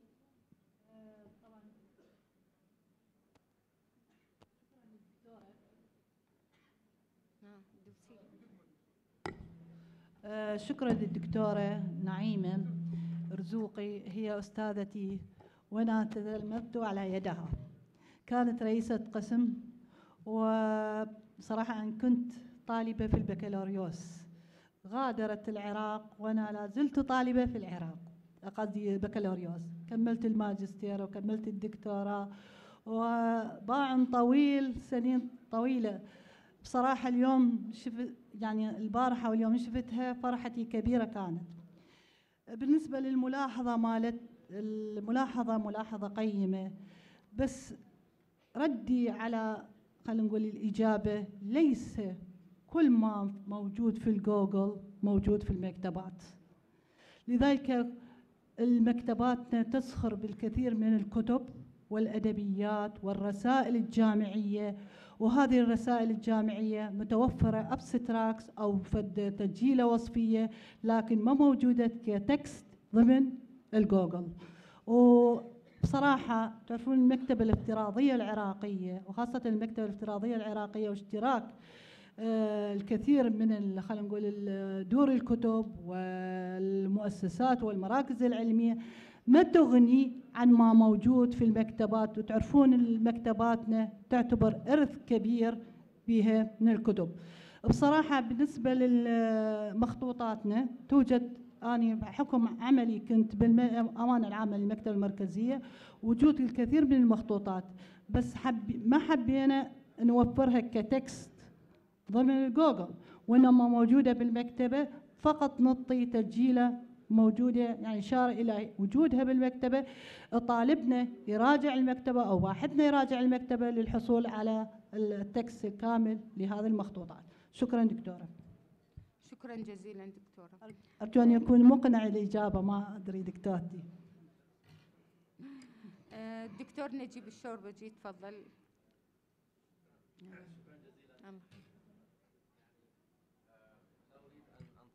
قيمة المحاضرات اللي في اليومين اللي فاتوا أو اليوم اللي فات ولكن هذه الأربع يعني محاضرات أو نعم. أوراق ما شاء الله كلها ممتازة وكلها من أحسن ما يمكن. نعم. النقطة الأولى بس اللي بحب أذكرها إنه ليس كل شيء مذكور في الإنترنت. ليس. وكل واحد بيعتمد على جوجل إنه أنا عندي المعرفة يكون غلطان. لأنه هناك المئات الملايين من الأشياء الموجودة نعم. خارج الإنترنت في قوائم المكتبات والفهارس وحتى الأشياء التي لها قيمة علمية صحيحة ليست موجودة على جوجل. نعم. بس أحب إضافة ولو ولكن, ولكن باشتراك نعم. وبالدفع. آه هذا النقطة الأولى. بالنسبة للدكتورة هدى آه ما يتعلق بالفهارس الموحدة هل لها قيمة ولا لها قيمة؟ هذا موضوع آخر. نعم ولكن, ولكن ولكن اللي أنا برجوه اللي أنا برجوه إنه كل واحد عنده مكتبة وكل واحد عنده نظام مكتبي مبني على الحاسوب. فقط فقط يستعمل المواصفات والمقاييس والمعايير. نعم. ومن ثم الدخول في فهرس موحد تصبح العملية عملية آه، فقط ربط لا أكثر ولا أقل. لا بتستخدم data آه، cleansing آه، ولا بتستخدم إعادة فهرسة ولا إلى آخره فأنا بس بقول يعني أحد التوصيات اللي حاب إنه تطلع عن المؤتمر إنه على كافة المكتبات أن تلتزم بالمواصفات والمعايير والمقاييس فعلا. الدولية أو العربية الموجودة حتى تكون نعم. والوطنيه, والوطنية حتى تسهل صحيح. عملية الربط فيما بينها فقط لا غير صحيح. بالنسبة للدكتور التميمي آه، حقيقة يعني أقدر ويعني I value highly انه إنه ذكر اليو ام ال اس highly appreciate لأنه هذا الموضوع بهمني جدا وأنا اشتغلت فيه ما أكثر من 30 سنة. النقطة الأساسية فيما يتعلق بال UMLS واللغة العربية. دكتور دكتور, دكتور صباح. فيما يتعلق بال UMLS واللغة العربية من من المقرف. إنه إحنا بنشوف العاملين في القطاع الصحي والمكتبات الطبية والمترجمين والمتحدثين باللغة العربية في المجال الصحي بروحوا للإنجليزي مباشرة. ولهذا السبب في وقت من الأوقات لما كنت في منظمة الصحة العالمية كنا بنحاول نعمل ال medical subject headings ال MeSH وكنا بنحاول نعمل unified medical dictionary وكنا بنحاول نعمل ترجمة اللي هي ال international classification of diseases بحيث إنه المؤلف يستعمل القاموس وأمين المكتبه يستعمل ال MeSH واللي بيشتغل في ال medical record يستعمل ال ICD 10 ولكن اللي أنا شفته على مدى كل هذه السنوات إنه إحنا بننحى منحه منحى إنه إحنا نستعمل اللغة الإنجليزية في المكتبات وفيها بغض النظر عن وجود ال UMLS فأنا رأيي إنه إحنا نغذي ال UMS ولكن نغذي استخدام اللغة العربية في هذه المؤسسات أنا طبقت ال classification ال medical subject طبقتهم في من خلال تمام. آه، طبقتهم من خلال البرنامج اللي تتذكره حضرتك هو برنامج الدبلوم العالي. آه، وحقيقة ما لقيت تجاوب حتى من الطلبة. وأنا أيضا ظليت في حيرة مع اللغة العربية كيف أتعامل معاها مع اللغة الطبية وهي النتاج الفكر كله باللغة الإنجليزية. فبالتالي من تجيني قائمة رؤوس موضوعات مش باللغة العربية. آه، يعني حقيقة شفتها من الصعب أن الطالب يتعامل معاها ولا الطبيب يتعامل معاها. فبالتالي هي كانت جهد طيب ولكن تطبيقها ضعيف معلش هي هذا النقاش بقودنا إلى نقاش آخر أيوة. لماذا اللغة العبرية تستعمل في التعليم الطبي في ما يسمى دولة إسرائيل باللغة العبرية لماذا في بلغاريا موجودة. باللغة موجودة. لماذا لما في سوريا نعم. في العراق نعم. كانوا بدرسوا نعم. على الأقل جزئيا باللغة العربية لماذا الابتعاد عن اللغة العربية والالتصاق باللغة الإنجليزية في ما- على الأقل فيما يتعلق بتنظيم المعرفة صحيح هذا اللي تفضلت فيه صحيح النقطة. تفضلت فيه ولكنه الآن واقع التدريس اللي موجود عندنا. هو واقع مر وغلط هذا هو المشكل. فاذا هو إحنا أنتم قمتوا بواجبكم مشكورين. وعلى فكرة أنا حقيقة هذا الترجمة اللي في اللغة العربية لن أجدها في ال ULMS اس ما موجود. موجودة كل الترجمات لل MeSH. ما عدا اللغة العربية مع العلم أنتم عاملين هذا عاملينه من نعم. آه، سنة 1998 مشكور. وسنة 2000 شكراً. والسبب السبب الرئيسي إنه هو ال UMLS على فكرة بيطلب إنه كل البيانات الموجودة ت- ت- تقدم بال XML وفي هذاك الوقت ما كانش ال XML ما كان يوجد. بيقبل اللغة العربية وبعدين تركنا. بس خلينا أعلق تعليق بسيط جدا. الدكتور التميمي بحث ممتاز حقيقة يعني. ولو المكتبيين يفهموا قيمه الترميز المستخدم في في ال thesaurus مثلا ال thesaurus عندي أنا مصطلح واحد أو مفهوم واحد وله رمز واحد. فلو كان عندي 10 ملايين تسجيلة فأنا فقط بحط الرمز الواحد لهذا وبربطه بالمكنز. لو كانت آه، كلمة فرعية أو غير. فرعية نفس الشيء المؤلف. نعم. ففي ال medical في رؤوس الموضوعات الناس بتحط رأس الموضوع أول مرة وثاني مرة وعاشر مرة وألف مرة وبتطلع غلط في غلط في غلط في غلط وبيزيد مساحة التخزين فيها. لو بستعمل فقط كلمة واحدة ورمز واحد اللي هو في قاعدة بيانات المكنز وبربطها في القاعدة الببليوغرافيه وبربطها بقاعدة المؤلفين مثلا أو قاعدة المدن أو إلى آخره بيكون بيوفر ملايين من ال bytes في في داخل ال- القاعدة. تعليق بس بسيط جدا على ما يتعلق بالتعليم. كنا بنقول قبل ثواني قبل دقائق يعني نظام الترقية في بريطانيا بيختلف عنه في أمريكا. في بريطانيا لازم يعني أنت بكون عندك ماجستير أو بكون عندك دكتوراه أو إلى آخره ممكن توصل إلى بروفيسور في أمريكا والأردن للأسف إنه أنت لازم يكون عندك دكتوراه ودول الخليج إلى آخره. فالتعلم الذاتي هو الأساس والبحث هو الأساس. مش الأساس هو الحصول على الدكتوراه ولا الحصول على البوست دكتورال لأنه هي أي واحدة فيهم عبارة عن طريق للبحث لا أكثر ولا أقل. أكيد. فالتعلم الذاتي مهم جدا وأرجو من كافة المكتبيين إنهم يتجهوا إلى التعلم الذاتي وليس الاعتماد على إنه أنا مستني دورة حتى تجيني أو مستني فعلاً. حد حتى يرشدني. بس. شكرا. شكرا جزيلا. آه، لدينا أربع باحثي آه، باحثين يحبون يطرحون أسئلة. يا أتمنى من آه، منهم دكتورة الاختصار الشديد يعني. أي. دكتورة سارة إذا تسمحي بس ما جاوب الدكتورة نعيم على السؤال آه. مالته يلا تفضل. طبعا بالمناسبة دكتورة نعيم هاي فرصة كلش حلوة وأعتز بها بأنه يصير بيوم من الأيام حوار بيني وبين حضرتك.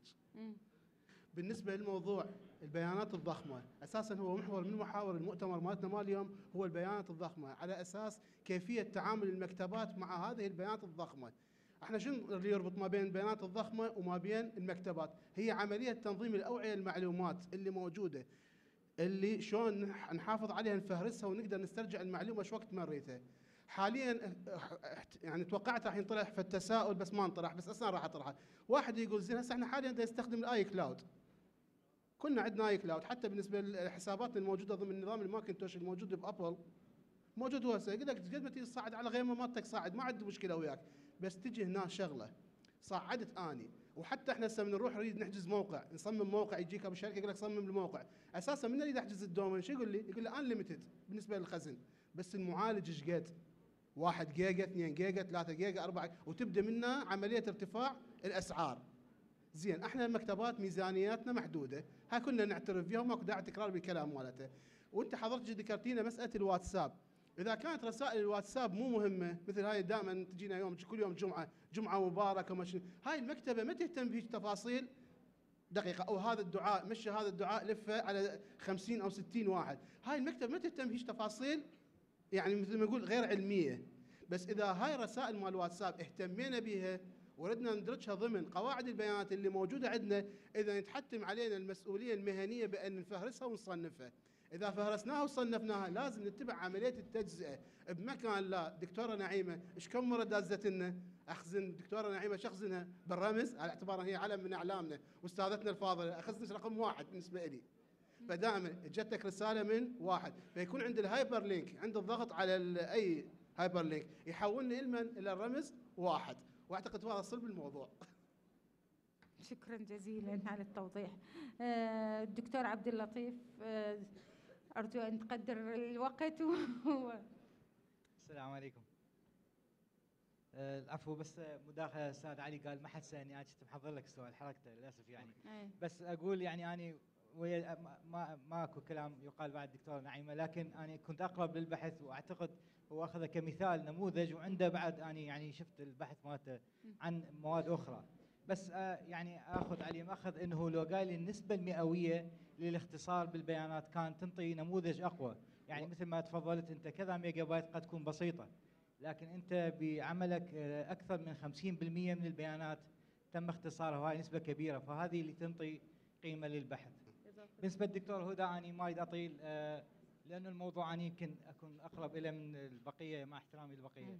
مسألة الفهرس الفهارس الموحدة إحنا أكو مثل ما تعرفين جمعيتين فاعلة حاليا بالمكتبات. وحده اللي هي اخصائي المعلومات واللي كانت وجهة نظرها إنه ندخل ضمن الفهرس العربي الموحد بما موجود من بيانات. يعني كل مكتبة جاهزة للدخول تستطيع الدخول وين توحد ضمن الفهرس العربي الموحد. جمعية تكنولوجيا المعلومات كانت عندنا نظرة ثانية. إنه نبني فهرس عراقي موحد وندخل ك يعني كتلة واحدة. والصراحة أنا مع الرأيين يعني الاثنين صحيحة. لأن وحدة لازم ننتظر نجمع كل البيانات والثانية تقول لا خلي جاهز يدخل بالفهرس فهاي الفكرة. إحنا إن شاء الله متفقين الجمعيتين و- نعم من للآخر. نعم. أحدهما مكمل للآخر. إيه نعم. إن شاء الله. إنه- أتمنى هذا الشيء. بس أنا لمست في. مجال العفو. مو قلت لك أنا كنت أمين عام. نعم. آه، من دخلت الأمين العام شفت أكو عدة كتب تؤكد على هذا المشروع وتؤكد على هذا المشروع. كنت. أتمنى المشروعين يصير مشروع واحد آه ويصير تطور لهذا المشروع. وتبدي العفو من مكتبات قد الكليات وتصعد المكتبات الجامعية اللي بها وبالإضافة إلى مشاركة العتبات والمشاركة المكتبات ال- خلينا نقول المتخصصة وبالإضافة إلى مشاركة فعالة بالمكتبة الوطنية. يعني قد يكون يكو- جهة مسؤولة بالتعاون مع دائرة البحث والتطوير بالتعاون مع الجمعيات بالتعاون مع المكتبة الوطنية تدعم هذا الجانب ويصير فهرس عربي موحد عراقي موحد ويدخل بوابة ضمن الفهرس العربي وضمن الفهرس شكرا العربي. جزيلا. شكرا. شكرا جزيلا. أحب أضيف على الفهرس الدكتور إذا ممكن. ثلاثة. ثلاثة. ثلاثة. ثلاث جمعيات. أنا أنا قصدت عندنا جمعيتين اللي كان لها دور بهذا اللي حكته إيه. الدكتوره اسف إحنا ثلاث جمعيات أنا عندي إضافة طبعا. بعدك. قصدي إنه جمعيتين. لها علاقة بالموضوع اللي دخلت وحدة عن طريق الفارس العراقي. والثانية دخلت عن طريق الفارس العربي. هذا قصدي يعني. يعني اتفقنا جميل. على أن لا نتفق. لا لا بالعكس بالعكس. المشروعين اسمحوا لي. المشروعين تبنوا الفهرس العراقي الموحد.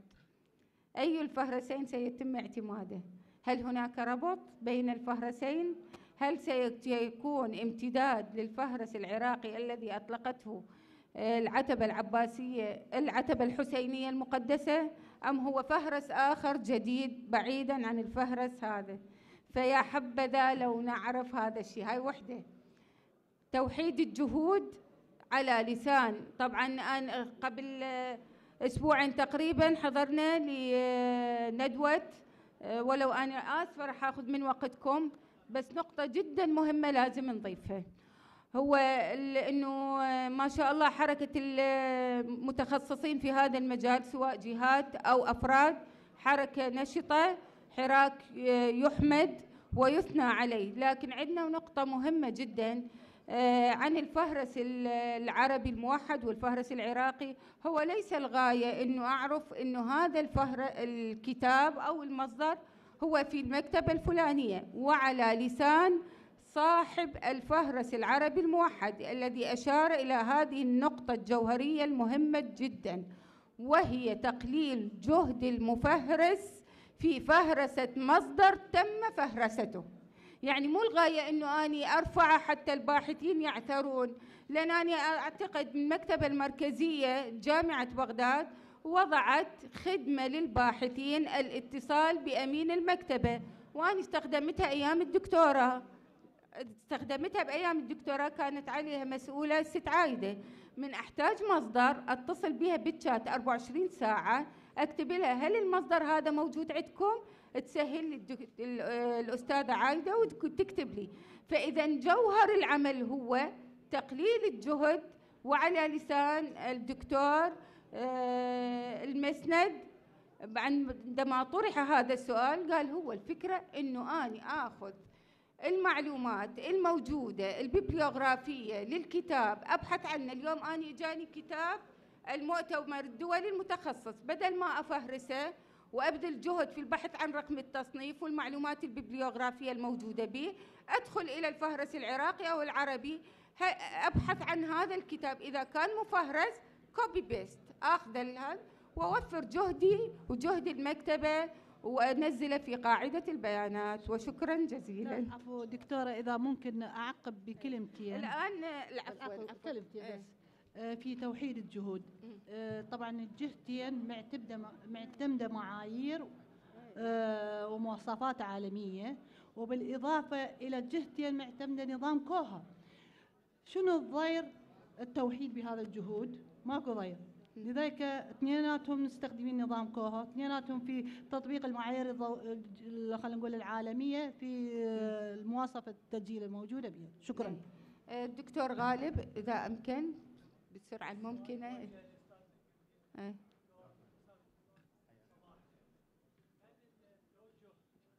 البحث كان نحو آه، أنطولوجيا اللغة المكتوبة أم شمل اللغة المنطوقة لاسترجاع ميتا داتا اللغات المنطوقة. أقصد يعني الفيديوهات وغيرها من المسموعة أو الكتب ال- الناطقة وغيرها. هذه الأنطولوجيات اشتركت في البحث أم لم تشترك؟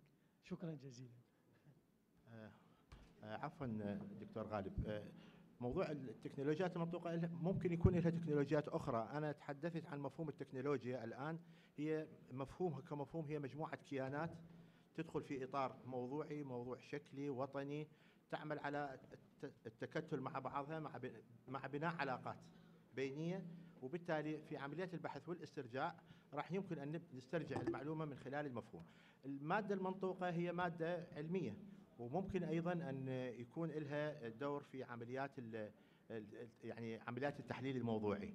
فبالتالي أنا لا أعتقد إنه كلمة يعني ورقتي أشارت إلى كلمه التكنولوجيا المنطقيه لأن أنا أتحدث عن تخصص موضوع طبي. أكدت على آه، موضوع التخصص الطبي. فما تذكر بيانات قاعدة بيانات المنطقة شكرا. لا آه. ما في. الدكتورة إكرام محمود تفضل. ميكروفون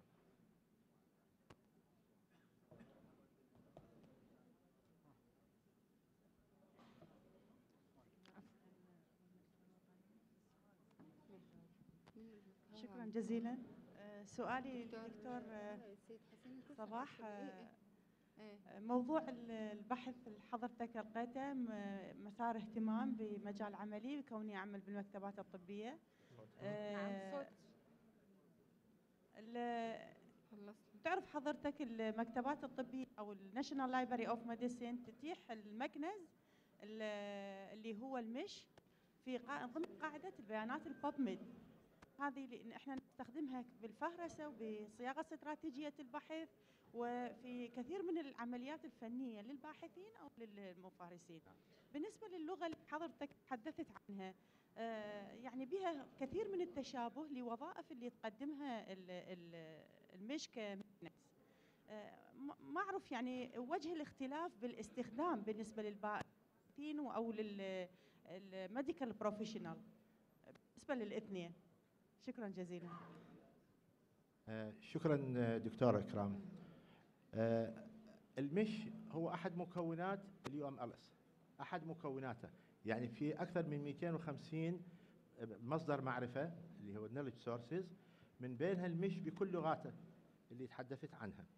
فبالتالي إنه هذا راح يعطيك راح يعطيك فرصة أخرى في عمليات التحليل الموضوعي عندما تحتاجين. ال MeSH يحدد لك في مجال في مجال تحليل المصادر. لكن آه، إذا كنت مثلا تردين في مجال الأدوية يعني عندك على سبيل المثال encyclopedia medical medical plus. سامحة فيها.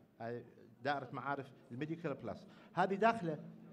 فبالتالي يمكن أن يعطيك تعريفات عن بعض التخصصات الطبية في ال anatomy في وبعدين يعطيك يدخل مع ال directory اللي هو في ال medical science، يمكن يعطيك عناوين أسماء أطباء اختصاص في موضوع تخصص. فأنت هذه ال ULS هذه الدائرة أوسع وال MeSH هو أحد عناصرها. ال MeSH هو أحد عناصرها. هو يعمل في التركيبة في الهيكلية تقريبا أنا ضربت ال MeSH كمثال. يعمل في التركيبة ت- تقريبا مقاربة لتركيبة ال MeSH اللي هي فئات فئات مكنز زائد فئات زائد علاقات زائد البرنامج محرك. واضح كيف؟ فلذلك أنت بإمكانك أن تستخدم أي جزئية من ال UMLS بإمكانك لأن هناك فهارس عالمية كثيرة ومعاجم طبية كثيرة على مستوى العالم داخلة في هذا البرنامج وبمختلف لغاتها. فاهم كيف؟ وبإمكانك أن تستخدمي ال- ال MeSH الحالة أنت. فإحنا الآن أغلب المكتبات الطبية معتمدين على ال MeSH لأن ال MeSH هو داخل في ال PubMed وداخل في ال MEDLINE في عمليات التحليل الموضوعي. وأنا طبعا أعقب على كلامك إنه معظم ال- الناس اللي هي أطباء ومتخصصين في مجال العلوم الطبية للأسف يروح على ال PubMed أو يروح على ال MEDLINE وكتب مباشرة في نافذة ال search ويبدأ يب- يشتغل search هذه الطريقة خطأ. ليش؟ لأنه هذا راح يشتت بحثك أنت ما راح تجيب لك معلومات بشكل دقيق. أفضل شيء هم عاملين لك المش ضمن جزء مكونة قاعدة البيانات. فأنت ادخل في عملية البحث من خلال المش أخذ المصطلح من المش وابدع بعملية البحث والاسترجاع. هنا راح تجيك بيانات أكثر دقة وتقدر تتحكم في عمليات آه، تحديد ال- المطلوب اللي أنت تريده بالنص الكامل تريده بأي اتجاه هذا ال- ال- ال- ال- الناتج اللي حصلت عليه. فأشكرك دكتور على سؤالك واستفسارك. ممنون. أي. آه. شكرا جزيلا على حسن الاستماع والشكر موصول لزملائي الباحثين لما قدموه من عروض طيبة آه، أسهم يعني أثرت آه، معلوماتنا. آه، ختام الجلسات كان هذا مسكها. شكرا جزيلا لحضوركم ونسأل الله أن يجمعنا على الخير والبركة والمحبة وعلى معلومات جديدة ومجالات جديدة أخرى نثري فيها. اختصاصنا وأيضا نرتقي بعملنا في مؤسساتنا. آه، إن شاء الله على الخير والبركة نلتقي في لقاءات وملتقيات ومؤتمرات أخرى. جزاكم الله خير الجزاء. نعم. أي تفضل. دكتور جاسم عميد. نعم إن شاء الله. أي أي. آه، ورشة عمل. ها. إيه. لا ها هي انتهت.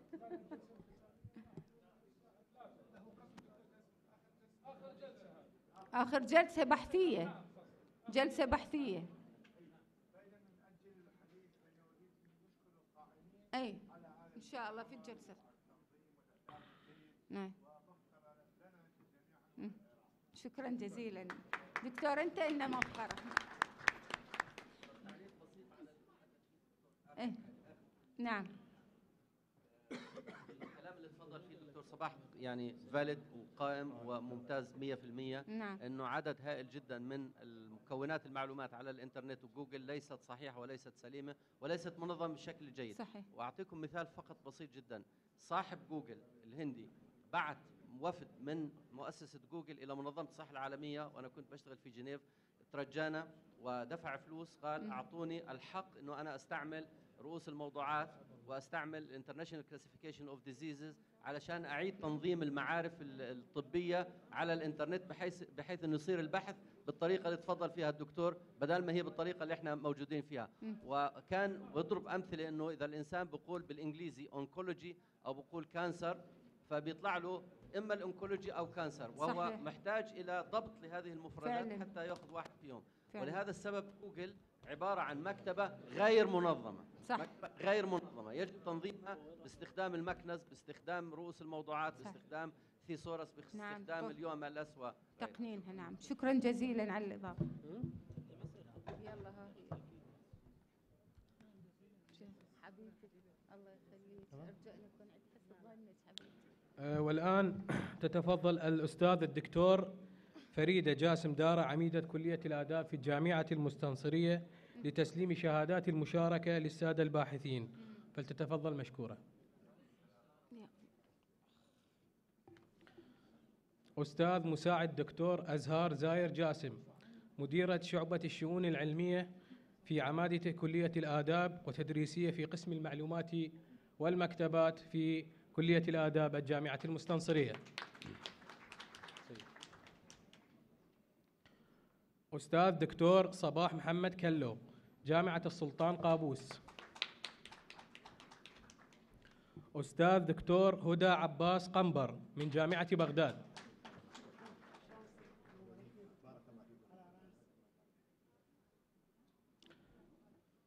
مساعد مدرس نهاية محمد عبد علي من الجامعة التكنولوجية.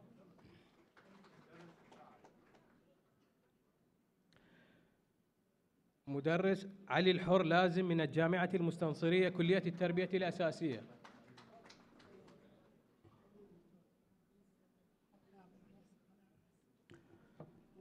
دكتورة أمل قشور من الجامعة اللبنانية كلية الإعلام.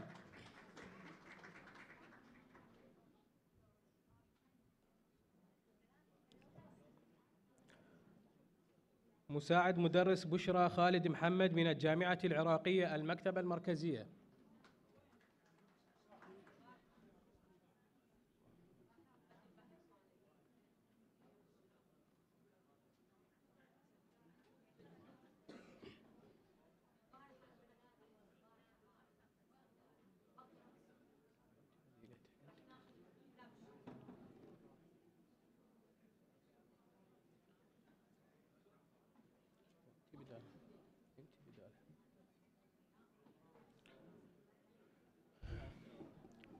والآن ورشة عمل تقدمها الأستاذة دلال رحمة من الجامعة الأمريكية في بيروت بعنوان إدارة البيانات العلمية الضخمة. فلتتفضل مشكورة. اليوم رح نحكي شوي عن إدارة البيانات البحثية ورح نحكي عن دورنا نحن كأخصائيين معلومات بمساعدة الباحثين بإدارة هيدي المعلومات البحثية. رح نحكي كمان عن أهمية المعلومات البحثية آه، وأهمية إدارتها بشكل صحيح آه، كرمال آه، نقدر نشاركها مع الآخرين. ما بعرف كم واحد فيكم زاير لبنان أو زاير الجامعة الأمريكية؟ حدا منكم زاير الجامعة الأمريكية؟ okay لبنان. ال campus تبع الجامعة الأمريكية هو campus كتير حلو مثل ما شايفين بالصورة. هو دغري على البحر والجامعة الأمريكية هي جامعة كتير قديمة. آه هي بلشت ب 1866 وعندنا هلأ حاليا 8000 ب 8000 وشي طالب آه 800 آه أستاذ بيعلموا فيها وعندنا سبع كليات. ليش عم بقول لكم هيدا الشيء لأنه لأنه عندنا هالقد آه، كليات بالجامعة عندنا آه، بيانات بحثية مختلفة جدا من طبيعة مختلفة جدا. ورح نشوف هلأ كيف رح نشوف مع بعض شوي كيف ممكن نحن كمكتبيين نقدر نساعد الباحث بتنظيم هيدي البيانات البحثية. آه، أول شيء بس قبل ما قبل ما نبلش لما نكون عم نحكي عن بيانات بحثية آه، لما نكون عم نحكي عن بيانات بحثية نحن عم نحكي عن مجموعة مشاهدات وملاحظات أرقام وأراء متعلقة بظاهرة أو مشكلة معينة. مش عم نحكي عن معلومة محللة ومقدمة. الباحث بيحللها وبيقدمها. عم نحكي عن هيدي المعلومات اللي بنجمعها لتتحلل ونطلع بنتائج منه. okay؟ ف البيانات البحثية بتجي بأشكال متعددة ومختلفة. آه فممكن تكون ممكن تكون صور ممكن تكون videos ممكن تكون آه، أشياء صوتية ممكن تكون نصوص وممكن تكون أرقام. ففيها أنواع مختلفة نص صورة أو صوت types أم formats كمان مختلفة تركيبات مختلفة. النصوص ممكن تجي ب text ممكن تجي ب documents ممكن تكون PDF وإلى آخره. والصور كذلك الأمر. فعنا آه، يعني عم عم نشتغل بشيء ضخم كثير آه، أنواع مختلفة وتركيبات مختلفة. آه، إدارة البيانات البحثية أمر كتير مهم. آه، لعدة أسباب. ما بعرف إذا حدا منكم إيه بس إذا بتريدوا في ضجة كتير بالقاعة. ما بقدر أسمع حالي. أساتذة okay. إيه إيه من هونيك. آه، okay. فما بعرف كم حدا منكم خلينا نكون هيك في مشاركة من الأول بدل ما تصير في أسئلة من الآخر. مين مين منكم بيعرف شو أهمية إدارة البيانات البحثية؟ ليش هي مهمة؟ إنه نحن آه نطلع بالبيانات البحثية قبل ما يبلش البحث، نفكر كيف نحن بدنا ننظمها ونديرها بشكل مناسب. حدا عنده فكرة؟ نعم.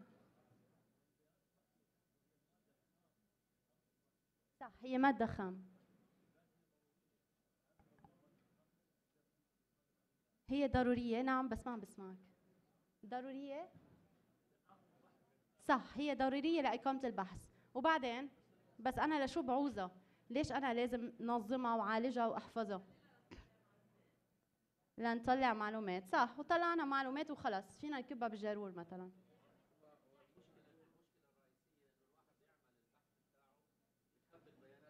صح. إعادة استعمالها صح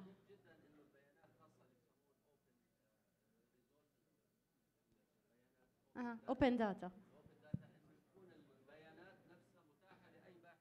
حتى يقوم بالتحليل الثاني أو الثالث أو الرابع. صح. ومن ثم اختبار إلى أي مدى هذه المعلومات صحيحة صح. ودقيقة. ممكن يغنيها ممكن يضيف عليها وهي بحاجة إلى تنظيم. في العالم العربي اللي موجود فيه حد اسمه data librarian هو لبنان. تصور أنت أنا. أنت المعنية.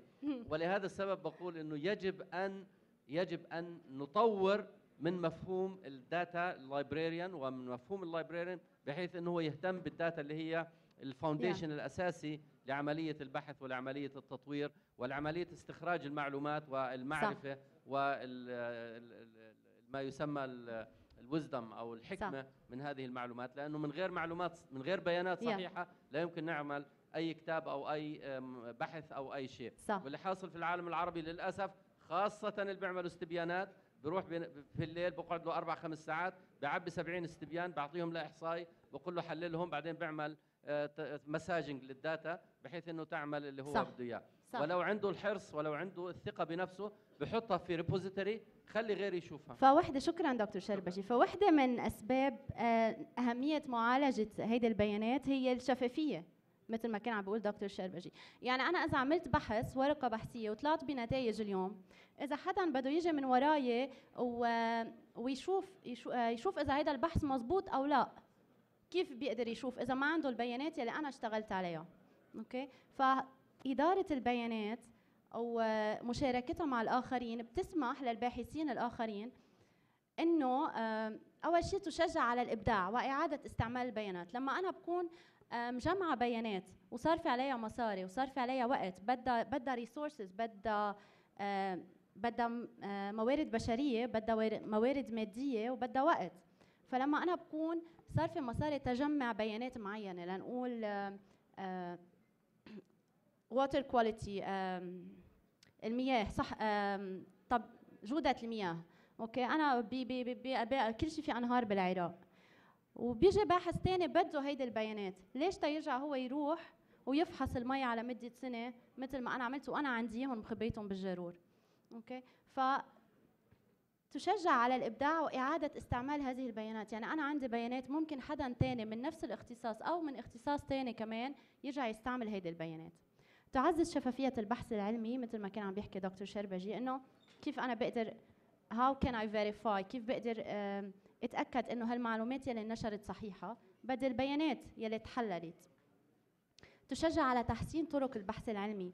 يعني أنا كباحث لما بعرف إنه بنهاية البحث تبعي أنا مش رح أنشر بس الورقة البحثية تبعي ولكن رح أنشر أيضا البيانات اللي أنا اشتغلت عليها. هيدا الشيء بخليني أجمع البيانات بطريقة آه بطريقة مناسبة ما فيها بايس يعني آه بطريقة آه شاملة وبدون تحيز. ولما بكون عم بحللها بنتبه إني عم بحللها بطريقة مضبوطه وبطريقة دقيقة مشان الباحث يلي بده يجي من بعدي ويستعمل هيدي البيانات أو يتأكد إنه بحثي مزبوط آه يكون كل شيء منيح. فهذا الشيء بشجعني إنه أنا أحسن طرق البحث تبعي لأنه رح تكون مكشوفة وشفافة للآخرين. تساعد على خفض تكلفة إعادة جمع البيانات الموجودة أصلا هذا الشيء حكيناه. ترفع نسبة تأثير البحث ونشره، يعني ال impact تبعي أنا ك researcher عم بيعلى، ال visibility تبعتي عم تعلى، نشر البيانات البحثية مثله مثل نشر أي ورقة بحثية، okay؟ فالعالم يلي عم تستعمل البحث تبعي عم عم بت عم تنشر البحث تبعي كمان بطريقة ما لما عم تعمل لي referencing و citing تروج للبحث الذي أنشأته أنشئت منه هذه البيانات. okay؟ فهيدي اهميه هيدا ليش مهمة؟ إنه نبلش نفكر كيف نساعد الباحثين بإدارة البحث آه البيانات البحثية تبعهم تعطي سمعة ورصيد للباحث مثلها مثل أي ورقة بحثية هلا عندي فيديو صغير ثلاث أو أربع دقائق هو باللغة الإنجليزية حدا عنده مشكلة؟ حدا عنده مشكلة مع فيديو باللغة الإنجليزية؟ يلي يل فيكم ترفعوا ايدكم يلي عنده مشكلة مع اللغة الإنجليزية؟ لا فينا نحضره؟ أوكي هو حوار عم بيدور بين بين شخصين باحثين ورح نشوف من خلاله شو هي المشكلة وهيدي المشكلة اللي رح نشوفها بالفيديو بنشوفها بكل المؤسسات بالعالم مش بس بعالمنا العربي ولكن بالدول الأوروبية والأمريكية كمان بنشوف هيدي المشكلة بين الباحثين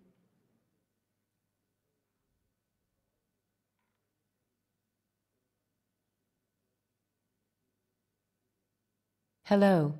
My name is Dr. Judy Benign. I'm an oncologist at NYU School of Medicine. Hello, Dr. Judy Benign. I read your article on B cell function. I think that I could use the data for my work on pancreatic cancer. I am not an oncologist. I know, but I think I could use the data for my work on pancreatic cancer. Do you have the data? Everything you need to know is in the article. No. What I need is the data. Will you share your data? I am not sure that will be possible. But your work is in PubMed Central and was funded by NIH. That is true. And it was published in Science, which requires that you share your data. I did publish in Science. Then I am requesting your data. Can I have a copy of your data? I am not sure where my data is. But surely you saved your data. I did. I saved it on a USB drive. Where is the USB drive? It is in a box. It is in a box at home. I just moved. But can I use your data? There are many boxes. So many boxes. I forgot to label the boxes.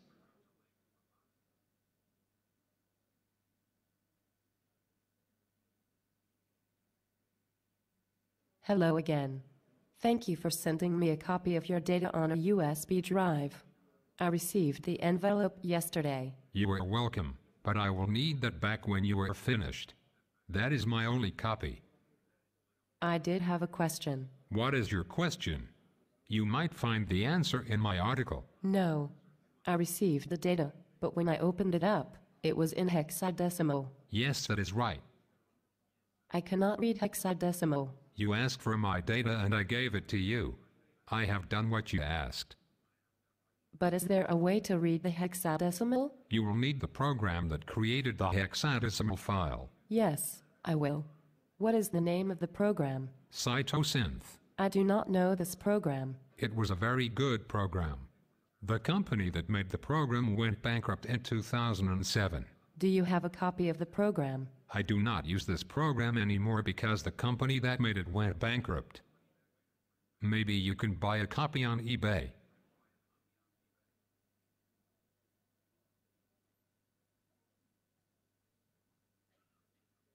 I have good news. You again. I talked to my colleague. She knew a person with a copy of the software. Then why do you need me? Everything you need to know about the data is in the article. I opened the data and I could not understand it. If you have the program, you will find it is clear. Well, I noticed that you called your data fields SAM. Is that an abbreviation? Yes, it is an abbreviation of my co author's name. His name is Samuel Lee. We call him Sam. I see.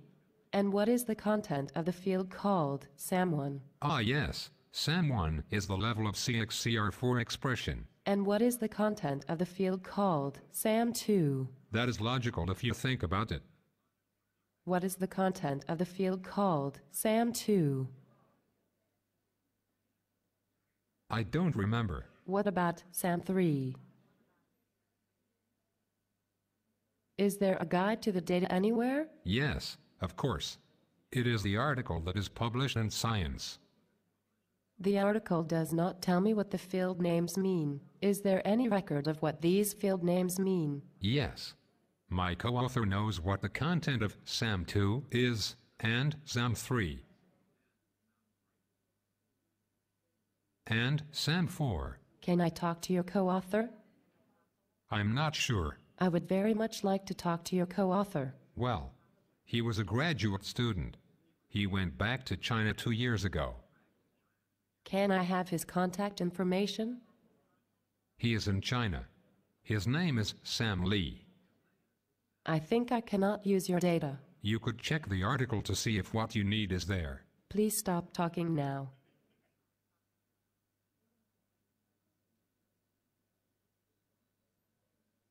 فما بعرف قديش كان واضح الفيديو بس في مشكلة في مشاكل في مشاكل ب... بإدارة وحفظ البيانات البحثية. ف ما بعرف كم واحد فيكم قدر. قدر يطلع من هيدا الفيديو بعض المشاكل البحثية بعض المشاكل البيانات البحثية. Library of Congress. لاحظت إنه هناك تشتت في في ال data. يعني هناك أكثر من مكان لحفظ ال data. مرة كان في box أثناء عملية ال- الانتقال من مكان إلى آخر أو من بيت لبيت تاني. وبعدين حتى الملفات آه، فيها تشتت في في ال data. آه، كمان الحصول على ال data كان صعب كتير. نتيجة هذا التشتت وعدم تنظيم ال data أو ال- أو البيانات والرجوع إليها كان محل صعوبة يعني. صح. شكرا. okay.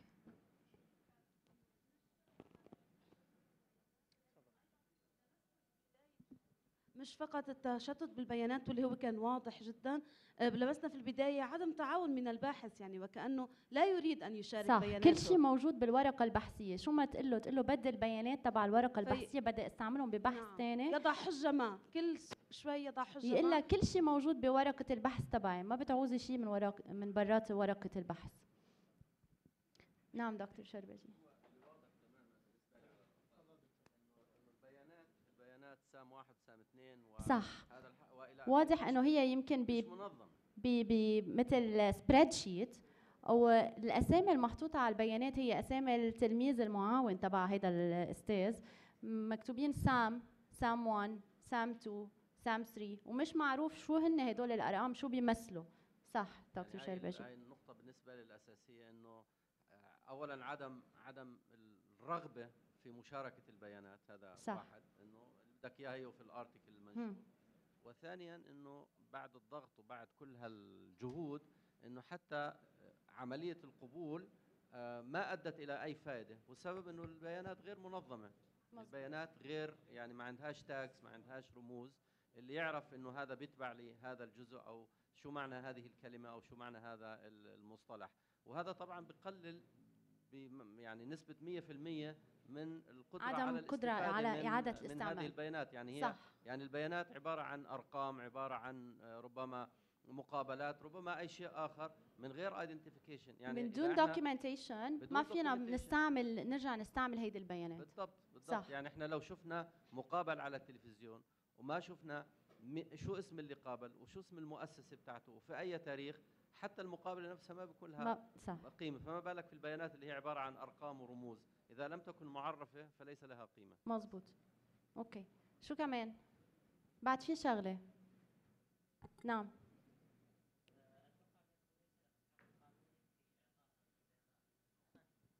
ذكر بأنه هذا الأمر آه، بأنه باحث من الصين إعطاء اسمه. هذا وارد بالقانون الصيني بأنه أي شركة لما. تستضيف باحث حتى يعمل لها البيانات okay تستفاد من الملخص مال البيانات مالته لكن. البيانات تبقى إلها. الباحث إذا هو جامع البيانات فبكون الحق له يعطيه. هلأ هون مش هيدي المشكلة هو هو هو صاحب البيانات جامع البيانات. المساعد تبعه يلي هو ال research assistant يلي بيساعده التلميذ اللي عنده يلي ساعده هو شخص من الصين وهو اللي بيفهم شو هن هدول ال abbreviations يلي كانوا بالهيدا. بس هو لاختصار الوقت لنقدر نكفي المشكلة بعد في مشكلة إنه ال software يلي بنستعمله لنطلع هيدي البيانات. لازم نتأكد إنه البيانات نحفظها بتركيبة open تركيبة تركيبة مفتوحة ما تكون تركيبة خاصة بشركة معينة. وهلأ رح نحكي ب slides لقدام. لأنه إذا مثلا عم نحفظ لنقول بفوتوشوب صور عم نحفظهم بال format تبع فوتوشوب يلي هو PSD ممكن شركة فوتوشوب بعد عشر سنين تسكر وما بقى في ولا software فوتوشوب على ال computers تبعنا. وبالتالي كل الصور المحفوظة بفوتوشوب ما رح نقدر نفتحها. أو Excel مثلا يلي هي لمايكروسوفت. إذا حفظنا آه، بياناتنا ب Excel وخبيناها لبعد 10 و20 سنة ويمكن مايكروسوفت تسكر أو Excel يبطل موجود بعد 10 سنين فما بنقدر نفتح هيدي آه، البيانات. أوكي. صح.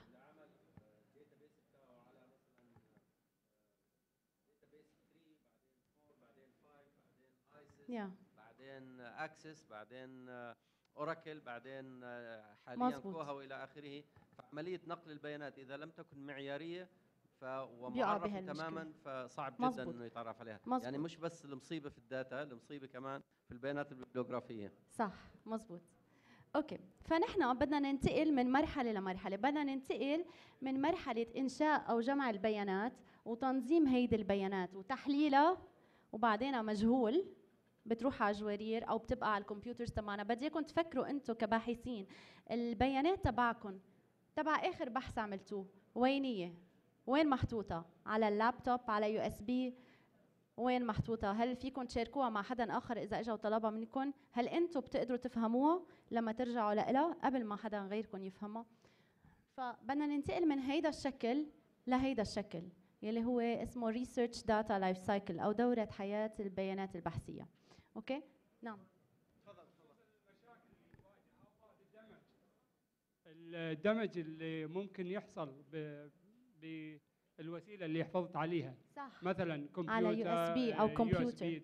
مزبوط. أكو آه، في طريقة بديلة ويمكن حضرتك رح. نح... رح نحكي عنها. آه، جايين أوكي، ما راح نقرب إيه نفسد شغل. جايين لا ما بيأثر. أوكي. فنحن بدنا ننتقل لهيدي الدورة يلي هي بتبلش بإنشاء المعلومات أو جمعها وتحليلها processing تنظيمها وتحليلها. نشرها ارشافتها إعادة استعمالها وبنرجع بنبلش عن جديد. أوكي؟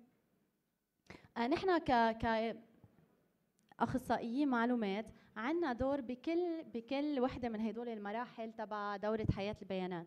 أوكي؟ ونحن إذا بنعرف كيف نستعمل دورنا بنكون مساعدين. للباحثين تبعنا يلي بيشتغلوا معنا بالجامعات ومساعدين لأنفسنا. أوكي؟ وبنخلي هيدا الشيء بنخلي قيمة هيدا الموضوع تزيد. لأنه حاليا كل كل ال funding agencies كل ال- المنظمات الداعمة والممولة للأبحاث بتطلب إنه الباحثين يعرفوا يكون عندهم خطة لإدارة المعلومات البحثية. فاليوم رح نشوف آه كيف كيف نفكر بخطة لإدارة المعلومات البحثية. آم، فإدارة المعلومات البحثية تتضمن معالجة وحفظ البيانات البحثية بالإضافة إلى ال metadata المتعلق المتعلقة بها. فنحن ما بنحفظ بس هالبيان البحثي ولكن بنحط معه metadata نقدر تخلينا نوصل له بسرعة ونقدر نفهمه ويقدر غيرنا طبعا كمان يفهمه ويوصل له مدة آه، حفظ آه، مدة الحفظ هي خلال البحث وما بعده لضمان إتاحة الوصول وإعادة استعمال هذه البيانات.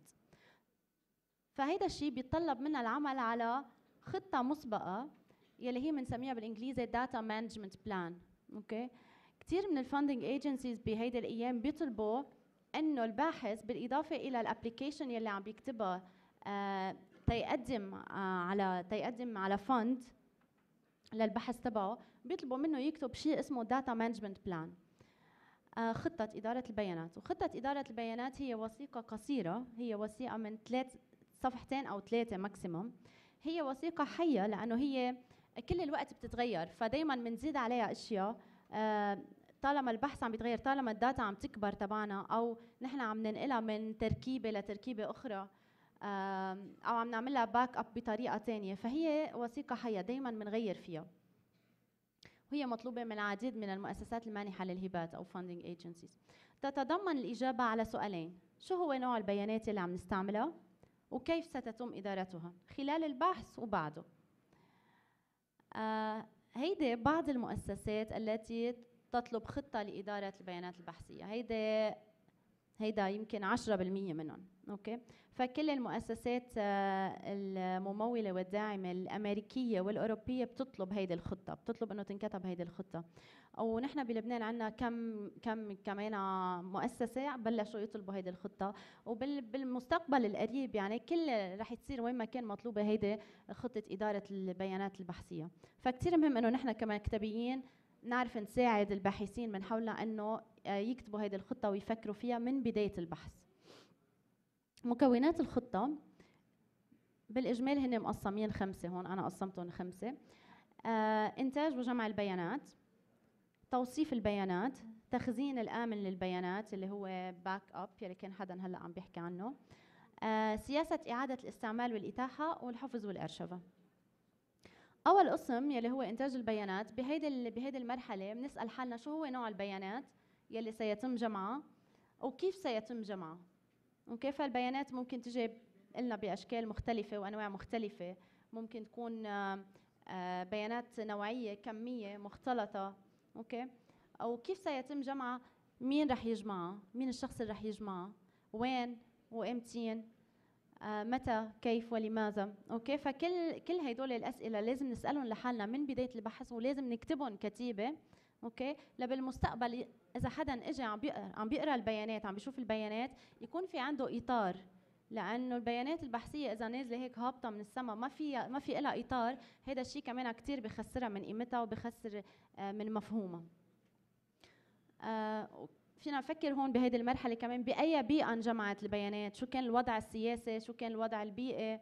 آه كثير أسئلة ممكن نسألها حول البيانات اللي هي بتحطها البيانات بكونتكست معين بإطار معين.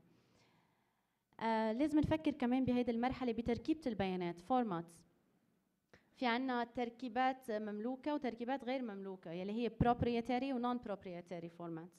يلي هلأ كنا عم نحكي عنها example آه إذا عم نحكي عن نصوص ممكن النصوص تكون word document يعني dot doc وممكن تكون dot txt. ف ال proprietary format ال format المملوك اللي هو لشركة تجارية هو وورد أوكي فنحن إذا عندنا بيانات إذا عندنا بيانات بوورد آه ما بدنا نخليهم بوورد ونحفظهم بوورد بدنا نغيرهم بدنا نهجرهم من وورد ل TXT أوكي لأنه TXT هو مفتوح. يعني حيلا شخص عنده كمبيوتر ما عنده عليه مايكروسوفت اوفيس ما عنده عليه وورد بيقدر يفتح ال file تبعنا إذا كان ب TXT. بينما إذا كنا حافظين ال file تبعنا بوورد أو بإكسل أو ب PSD أو بحيلا تركيبة مملوكة مش مين ما كان فيه يحطه على الكمبيوتر تبعه ويفتحه لأنه بده هيدا هيدا ال software تيقدر يفتحه. فدائما بنجرب البيانات تبعولنا ان نحفظها بتركيبات مفتوحة non proprietary formats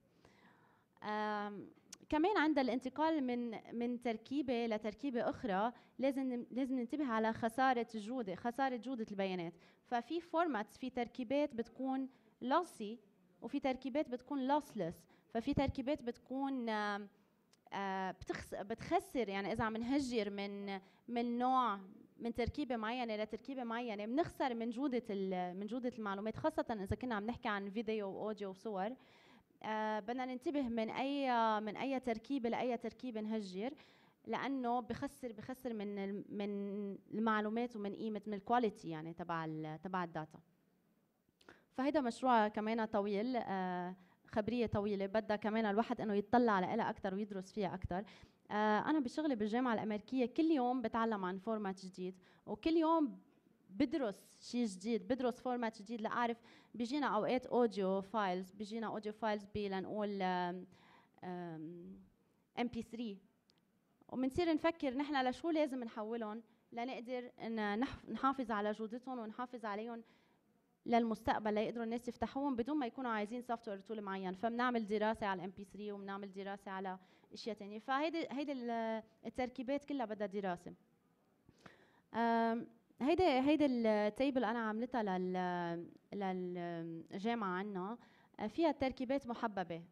في التكست والإيمج والأوديو والفيديو لهدول الأربع أربع أنواع data وهون عاطي مقترح تركيبات محددة. فإذا حدا بده ال presentation بآخر ال session فيه ياخذها آه، تاني قسم هو توصيف وتنظيم البيانات.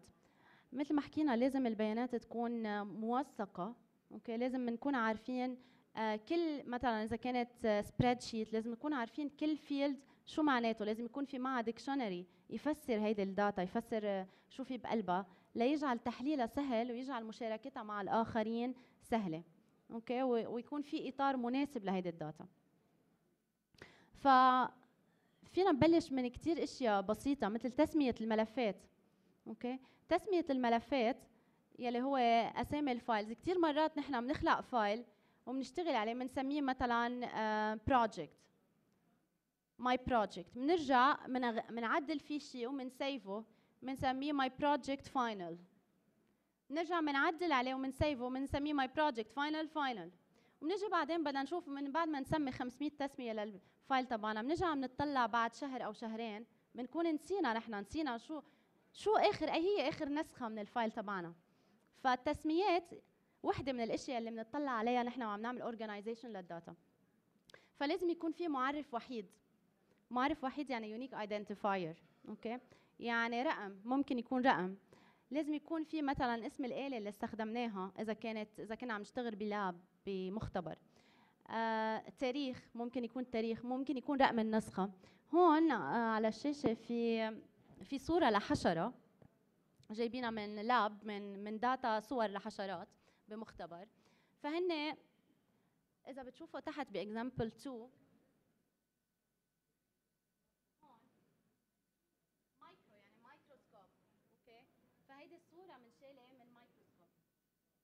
هيدي الصورة منشالة من microscope. HHL هو اختصار اسم الحشرة.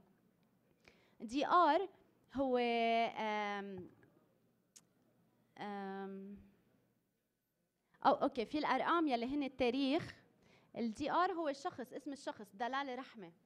okay؟ اسم الشخص يلي صور هيدي الصورة يلي طلع هي الصورة. وفي sequential number رقم أول صورة. هيدي 001 أول صورة. وال format هو ال TIFF file okay؟ آه، بال example الأول اللي هي تسمية بنعتمدها بالجامعة الأمريكية.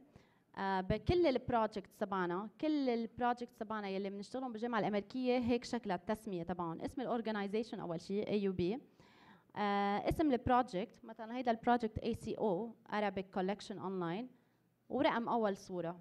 وأم هي الماستر فايل الدي هي الديريفاتيف فايل الصورة الأساسية والصورة المشغول عليها. okay؟ وهيك هيدي بنعتمد هيدي التسمية لكل الملفات تبعنا. فأول ما بنطلع على الملف من برا بنعرف شو في بقلبه بدون ما نضطر ان نفوت على كل ملف لننبش على ال data تبعنا. فهيدي وحده من الأشياء اللي بتساعدنا على تنظيم المعلومات. كمان versioning نعرف أي رقم هي ال version يعني مثلا V1 هي اول version V2 هي ثاني version فينا نزيد هيدا الشيء كمان على اسم الملف. إذا نحن عم نعدل ونغير بالملفات. التوثيق مثل ما قلنا. التوثيق هو وصف المنهجية بالتفصيل يلي هو بيساعد الباحثين على فهم أفضل ويجعل العمل العمل أو هيدي ال data قابلة لإعادة الاستعمال. وبتكون النتائج قابلة للفحص verification هذا الشيء اللي حكينا عنه من قبل. ف فممكن نستعمل dictionaries يعني نقول سام 1 هي درجة حرارة المي. سام 2 هي قديش في آه، كالسيوم بالمي لنقول. okay؟ أو آه، سام 3 قديش في آه، تلوث. okay؟ فلازم نفسر نفسر ال data تبعولنا شو هي. فممكن نستعمل dictionaries ممكن نستعمل readme file هذا كثير بتشوفوه هي وثيقة مكتوبة بتكون مع ال data تبعنا. دايما بسموها readme بتكون txt Notepad file. ممكن نزيدها. أكيد ال metadata كمان. آه ما بدي أقول لكم شو هي شو معنات metadata فبس كل نوع من أنواع البيانات عنده آه مخطط مختلف عن غيره بحسب طبيعة هيدي البيانات. فإذا كان نص رقمي ممكن يكون عنده آه مخطط خاص يعني metadata schema خاص فيه. إذا كانت أشياء لها طبية كمان عندها metadata schema خاص فيها. أو كل وكل حقل من حقولنا العلمية عنده metadata schema خاص فيه. فممكن نحن نستعمله هيدا كمان للبيانات. معظم المستودعات الرقمية عندها مخططاتها الخاصة مخططاتها البحثية الخاصة وغالبا ما بيكون آه هيدا المخطط هو Dublin Core okay؟ Dublin Core هو المخطط الأبسط والأسهل يلي بتستعمله كل كل المستودعات الرقمية بالإجمال خاصة المفتوحة مثل DSpace مثل Fedora okay؟ فكمان بدنا نفكر بالمفردات المضبوطة. نحن وعم عم نكتب ال metadata تبعنا أو ال controlled vocabulary مثلا كلمة cancer كلمة cancer ممكن ينحط لها كذا key term بس نحن إذا بنفوت على ال MeSH terms على ال National Library of Medicine بنشوف إنه كلمة cancer لها controlled vocabulary واحد. فهو هيدا اللي بنستعمله ل آه نحن وعم نوصف ال data تبعنا. فهيدي الأشياء كلها ما فيه يعملها الباحث العادي. هيدي الأشياء آه نحن آه نحن بنساعد الباحث إنه يعملها خاصة الأشخاص اللي بيشتغلوا بالمكتبات. ما بعرف قديش منكم بيشتغلوا بمكتبات وقديش بيعلموا. أوكي؟ آه ففي عنا مفردات مضبوطة لازم آه نطلع عليها. التخزين الآمن هو ثالث مرحلة لازم نطلع عليها. نحن عم نكتب الخطة لإدارة البيانات البحثية. فالممولين تبع البحث بالعادة بيشجعوا إنه هيدي البيانات البحثية لازم أنتم تنشروها مع الآخرين وتخلوا الآخرين يستعملوها. لأنه نحن ما بدنا نرجع ندفع مصاري لشخص ثاني تيرجع يجمع يجمع نفس البيانات. البيانات already موجودة فلازم كل الناس تقدر تستفيد منها. آه هيدا الشيء بخلينا نفكر كيف نحن بدنا نخزن هيدي البيانات ونجعل الإتاحة والوصول إليها سهل. فبدنا نفكر كيف كيف بدنا نخزن وين بدنا نخزن معلوماتنا. ما فينا نحطهم على USB وما فينا نحطهم وما فينا نحطهم على الكمبيوتر تبعنا okay أو مين مين رح يهتم بعملي بعملية التخزين؟ okay؟ وكيف رح يتم الاسترجاع استرجاع هذه البيانات بحال فقدانها بالعادة نحن بنشتغل بمؤسسات بهذه المؤسسات عندنا شيء اسمه IT department وعندنا سياسات بهذه المؤسسات policies ال IT department بحطها. فممكن نطلع على هيدي يعني نسأل ال IT department وين ممكن نخزن هيدي البيانات. نحن كمكتبة بالجامعة الأمريكية عندنا server خاص للبيانات بنخزن عليه هيدي البيانات. وكل يوم بالليل بينعمل backup أو وفي اثنين servers برات البلد فبصير في مثل mirroring بينقلوا المعلومات من هيدا ال server على ال server يلي بقبرص وعلى ال server يلي بأمريكا. فهيدي طريقة ما. هلأ ال protocols بقلبه هي شغلة ال IT أكيد مش شغلتنا. بس نحن عندنا سياسات معينة ممكن نحن نطلع عليها ونشارك الباحثين الآخرين بسياسات المؤسسة اللي نحن فيها. آه كمان بالتخزين الآمن بدنا نلاحظ القوانين يلي حوالينا والسياسات مثل ما قلنا سياسة المؤسسة اللي نحن فيها. آه ممكن تكون سياسة ال IT ممكن تكون المكتبة عندها سياسة خاصة فيها ممكن يكون ال IRB office يلي بالمؤسسة كمان عنده policies معينين نحن لازم نتبعها. في عنا data bank بال AUB كمان آه له policies خاصة فيه. كمان آه لازم نطلع على هيدي لهيدي القوانين والسياسات. كمان لازم نلاحظ قوانين الدولة وقوانين البلد وأحكامه والقوانين الدولية. okay؟ ففي عنا ال HIPAA Health Insurance Portability and Accountability Act فينا نطلع عليه ونشوف شو هي سياسات الحفظ والتخزين بالنسبة لهم ونطبقها عنا. النقطة الرابعة هي إعادة الاستعمال والمشاركة مع الآخرين. وهيدي هي أهم نقطة يعني نحن عم نعمل كل هيدا الشيء عم عم ننظم البيانات تبعنا آه عندي عندي بعد خمس دقائق فالأسئلة بنخليهم للآخر أوكي؟ فنحن آه لازم نحن عم نعمل كل هيدا الشيء مشان نقدر بالآخر نشارك المعلومات تبعنا مع الآخرين okay؟ لأنه إذا كانت معلوماتنا مش منظمة أو منا آه موثقة ومنا backed up ما في لها تخزين صحيح ما بنقدر نشاركها مع الآخرين. فبمرحلة إعادة الاستعمال والمشاركة نحن عم نفكر بالخطة البحثية تبعنا بخطة إدارة البيانات البحثية. عم نفكر هل نحن مجبرين نشارك هيدي البيانات مع الآخرين؟ هل هيدي البيانات ذو فائدة للآخرين؟ ممكن حدا تاني يجي ويستعملها ويستفيد منها؟ شو هي الأشياء يلي أنا مش ممكن شاركها مع الآخرين؟ أوقات بيكون في بيانات متعلقة بالأشخاص بيانات آه، مثلا آه، طبية. متعلقة بأش... فيها أسامي أشخاص وفيها حالات مرضية وفيها في data بتكون private data هيدي ال data يلي بتتعلق بال... بالأشخاص هيدي sensitive data data حساسة ما بنقدر نشاركها مع الآخرين. فبدي أفكر هل أنا مجبر؟ قديش الآخرين بيستفيدوا من البحث تبعي؟ وشو هو الشيء يلي أنا بقدر شاركه مع الآخرين؟ وشو هو الشيء يلي ما لازم شاركه مع الآخرين؟ كيف بدي شاركها وإمتين هل أنا رح شارك بياناتي البحثية؟ أنا وعم بجمعها عم بحطها دغري وشاركها مع الآخرين أو من بعد ما أكتب الورقة البحثية تبعي وإنشرها أو من بعد ما أكتب الورقة البحثية تبعي وإنشرها بشي ثلاث أشهر. في embargo period شيء بسموه إنه أنا خلي المعلومات تبعي مخبايه لفترة معينة من الزمن. okay؟ شو لازم يعمل الباحث الآخر ليوصل للمعلومات تبعي؟ هل لازم يكون عنده مثلا username و password نحن بالجامعة الأمريكية عندنا data bank مثل ما قلنا بنك للبيانات البحثية. آه في أشخاص بيقولوا أنا أنا بدي شارك ال data تبعي بس مع مع الباحثين تبع الجامعة الأمريكية. فبكون في username و password كل شخص عنده username و password من ال AUB فيه يشوف هيدي البيانات واللي ما عنده ما بيقدر يشوفها. فشو أنا أنا البيانات تبعي اللي أنا بجمعها بدي أفكر أنا لمين بدي آه، أعطي حق الوصول لها هل أنا بدي خلي العالم كله يوصل لها أم بدي خليها لل department تبعي يمكن للقسم تبعي أو بس لجماعتي؟ فنحن دائما بنشجع الباحثين إنه يفتحوا تكون مفتوحة للكل وسهل الوصول لها من الكل. ولكن في بعض الأشخاص يلي عندهم عندهم أسبابهم يلي هن بيعطوا دائما أسباب إنه نحن لأ بنفضل حاليا إنه بس مثلا القسم تبعنا يكون له وصول لها أو بس الجامعة. ولكن نحن كأشخاص من بنشجع we advocate for open access بنشجع للوصول الحر للمعلومات وللبيانات. دائما بنخبر الآخرين عن أهمية آه إنه يحطوا هذه المعلومات بإيد الآخرين. لفائده لفائده مشتركة لفائده مشتركة لهم وللاخرين آه بدنا نفكر مين صاحب الملكية الفكرية لهيدي البيانات؟ هل أنا جمعتها أو أنا جبتها من محل جامعينه إذا جبتها من محل تاني فأنا ما بحق لي. I'm not the right holder. ما عندي copyright عليها لأنا أقدر شاركها مع الآخرين. فبدي أسأل المحل اللي جبتها منه إذا بنقدر نشاركها مع الآخرين أو لا لأنه يمكن هي منا ملكي هي مش أنا. أنا مش عاملها لهيدي المعلومات أو جماعة. هيدي المعلومات جايبها من محل تاني. وكيف بأي طريقة ممكن نشاركها مع الآخرين؟ أكيد هون فينا نفكر بكثير آه، رخص آه، لمشاركة لمشاركة معلوماتنا مع الآخرين. وحده من من الرخص اللي هي سهلة جدا و flexible كثير مرنة جدا هي رخص المشاع الابداعي اللي هي Creative Commons ففينا نحن آه ما بعرف أكيد أكيد كلكم سامعين ب Creative Commons صح؟ حدا مش سامع ب Creative Commons Creative Commons رخص المشاع الإبداعي.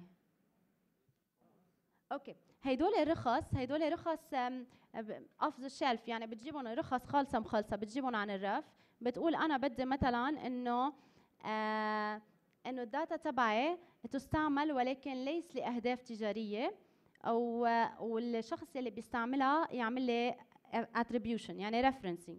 فممكن أنا أخلط بال في عندي ست أو سبع سبع خيارات وممكن أخلط بيناتهم. okay. أول وحدة يلي هي attribution alone ماشي الحال. آه يعني أنا في مين ما كان يستعمل المعلومات تبعي وبالطريقة اللي بده إياها وحتى لو لأسباب تجارية ولكن okay. و فأول license أو أول رخصة هيدي ال attribution attribution alone هي إنه أنا مين ما كان بقدر أحطها على ال data تبعي ومعناتها إنه مين ما كان بيستعمل ال data تبعي حتى لو لأسباب تجارية وحتى لو بده يغير فيها ويعمل فيها أشياء ثانية ثاني ثاني وحدة هي attribution و no derivative يعني لازم الواحد يعطينا attribution يكتب إنه هيدي ال data إجت من عندي.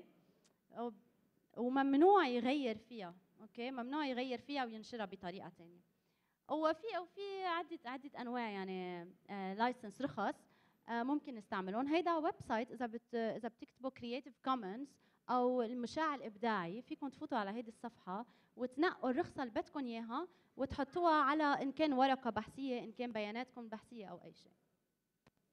حتى إذا عاملين website فهن بيعطوكم لوجو مشان تحطوه على ال website تبعكم بالرخصة اللي أنتم بدكم إياها. آخر قسم هو آه، الأرشفة والحفظ. شو رح يصير بالبيانات تبعي؟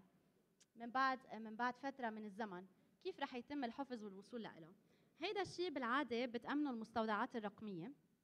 ففي عنا عدة أنواع. هدول بس كم واحد كم example مش كل المستودعات الرقمية الموجودة. في في مستودعات رقمية جنرال يعني لكل لكل الاختصاصات ولكل لكل أنواع ال data. okay؟ ومنهم منهم Figshare و Dryad okay؟ آه وفي في مستودعات رقمية متخصصة بتكون مثلا هون آه لل metabolic disease rare metabolic disease PubChem للكيمياء. okay؟ وإلى آخره. هون لل physics okay؟ لل commerce sorry DataHub لل physics okay ففي مستودعات رقمية خاصة بال. ب... باختصاصات خاصة وموضوعات خاصة وفي آه، منها جنرال هلأ في منهم مدفوعة كمان بتدفعوا مثلا 100 دولار بالسنة أو 200 دولار بالسنة وفي منها مجانية. آه، وفي ثاني نوع من المستودعات هي المستودعات التابعة بالمؤسسة أو institutional repository. ال institutional repository يلي نحن بنستعمله بال AUB هو هو بيكون مبني على repository open source repository مثل DSpace نحن بنستعمل DSpace لل لل public ولل preservation بنستعمل Fedora واثنيناتهم open source هدول flexible كثير والمؤسسة هي اللي بتهتم فيهم هي اللي بتهتم بالحفظ وبتهتم بإنه يكونوا البيانات تبعنا visible للآخرين وبكون في full control سيطرة كاملة من من الباحث يلي حط هيدي البيانات بقلب المستودع على هيدي البيانات تبعه. آه، من ناحية من ناحية الحفظ بنأمن storage بنأمن space مكان لهيدي ال data قد ما كانت كبيرة إذا كانت data كثير كبيرة أو data صغيرة بنأمن له مكان آه، محل بال server مشان يحفظ هيدي ال data. المؤسسة هي بتهتم بال backup يعني الباحث مش مضطر يفكر كيف بده يعمل backup لل data تبعه. آه، بتأمن discoverability يعني يقدر الواحد يسترجع المعلومات تبعه بسهولة. آه لأنه نحن نحن بنزيد على ال metadata يلي هو بحطها الباحث مع البيانات تبعه. و structured metadata أكيد بموضوع ال visibility يعني نسبة الرؤية تبع هيدي البيانات تكون عالية. ال repository أم المستودع اللي نحن بنستعمله هو مفهرس من كل من كل ال search engines من Google و Yahoo Bing وكل هدول المستوى فحيلا شخص بيكون عم بينبش بجوجل لنقول رح يدله جوجل على البيانات اللي هي موجودة بهذا المستودع الرقمي. فال visibility رح تعلى. آه رح يكون في citation لأنه هيدا ال هيدا ال repository نحن بنأمن مع repository كيف كيف البيانات بدها تكون cited okay؟ بدها تكون ال reference تبع هيدي البيانات. وبنأمن unique identifier فكل ما واحد يحط data بينخلق unique ID okay؟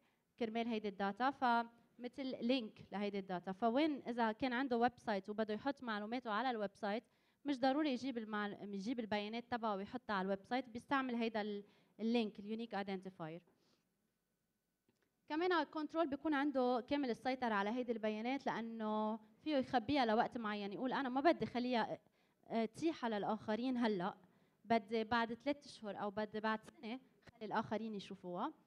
أو فيه فيه يقول بدي الناس تشوفها بس ب username أو password وطبعا نحن عندنا بنعطي support فهيدي هيدي آه، مرونة المستودعات اللي تابعة للمؤسسات.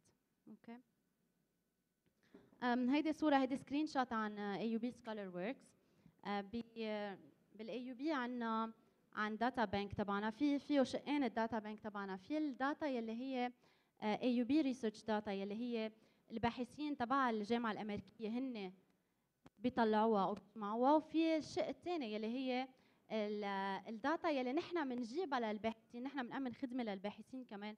إذا كانت ال data يلي عايزينها للبحث تبعهم موجودة بمكان آخر موجودة بوزارة أو بمؤسسة ثانية نحن بنروح على هيدي المؤسسة وبنطلب هيدي ال data بالنيابة عنهم لأنه نحن بنعرف بنعرف قوانين بنعرف قوانين الدولة يلي هي بتسمح لنا نحن نطلب ال data بنعرف نعمل licensing لل data لما نجيبها تنقدر نشاركها مع كمان مش بس هيدا الباحث مع باحثين آخرين. ففي عنا شقين. أوكي. آه آخر شغلة بدي أقولها خلصنا. بس في شيء اسمه DMPTool وهيدا ال link تبعه DMPTool dot org كل الأشياء اللي حكينا عنهم اليوم هن كيفية كتابة الخطة البحثية أو التفكير فيها. هيدا ال tool هو tool ببلاش عاملينه كذا جامعة بأمريكا. فإذا بتفوتوا عليه إذا بتكتبوا dmptool.org هيدا التول فيكم أنتم من خلاله بيسهل عليكم عملية كتابة خطة بحثية. لأنه بيعطيكم يعني بيقول لكم أول شقفة شو بدكم تكتبوا. وثاني شقفة وثالث شقفة. فإذا كنتوا بتشتغلوا بمكتبات حتى فيكم تدخلوا اسم المكتبة تبعكم بهيدا التول. وأنتم يعني بحسب قوانينكم وأنظمة جامعتكم أنتم ترشدوا الباحث على آه، كيفية كتابة الخطة البحثية من خلال هيدا هيدا البرنامج. وبعدين قبل ما يقدم الباحث الخطة للمؤسسة اللي عم اللي بده يطلب منها funding بتروح نسخة من الخطة لإلكم وأنتم بتقدروا تراجعوها وتشوفوا إذا فيها شيء غلط أو صح وتساعدوه إنه يظبط الخطة تبعه. فهيدا كل شيء. هون كان في tutorial بس لضيق الوقت ما رح نعمله. فهيدا هو. حدا عنده أسئلة؟ شكرا. يتقدم الدكتور علاء أبو الحسن العلاق لتقديم شهادة المشاركة إلى الأستاذة دلال رحمة. فليتفضل مشكورا.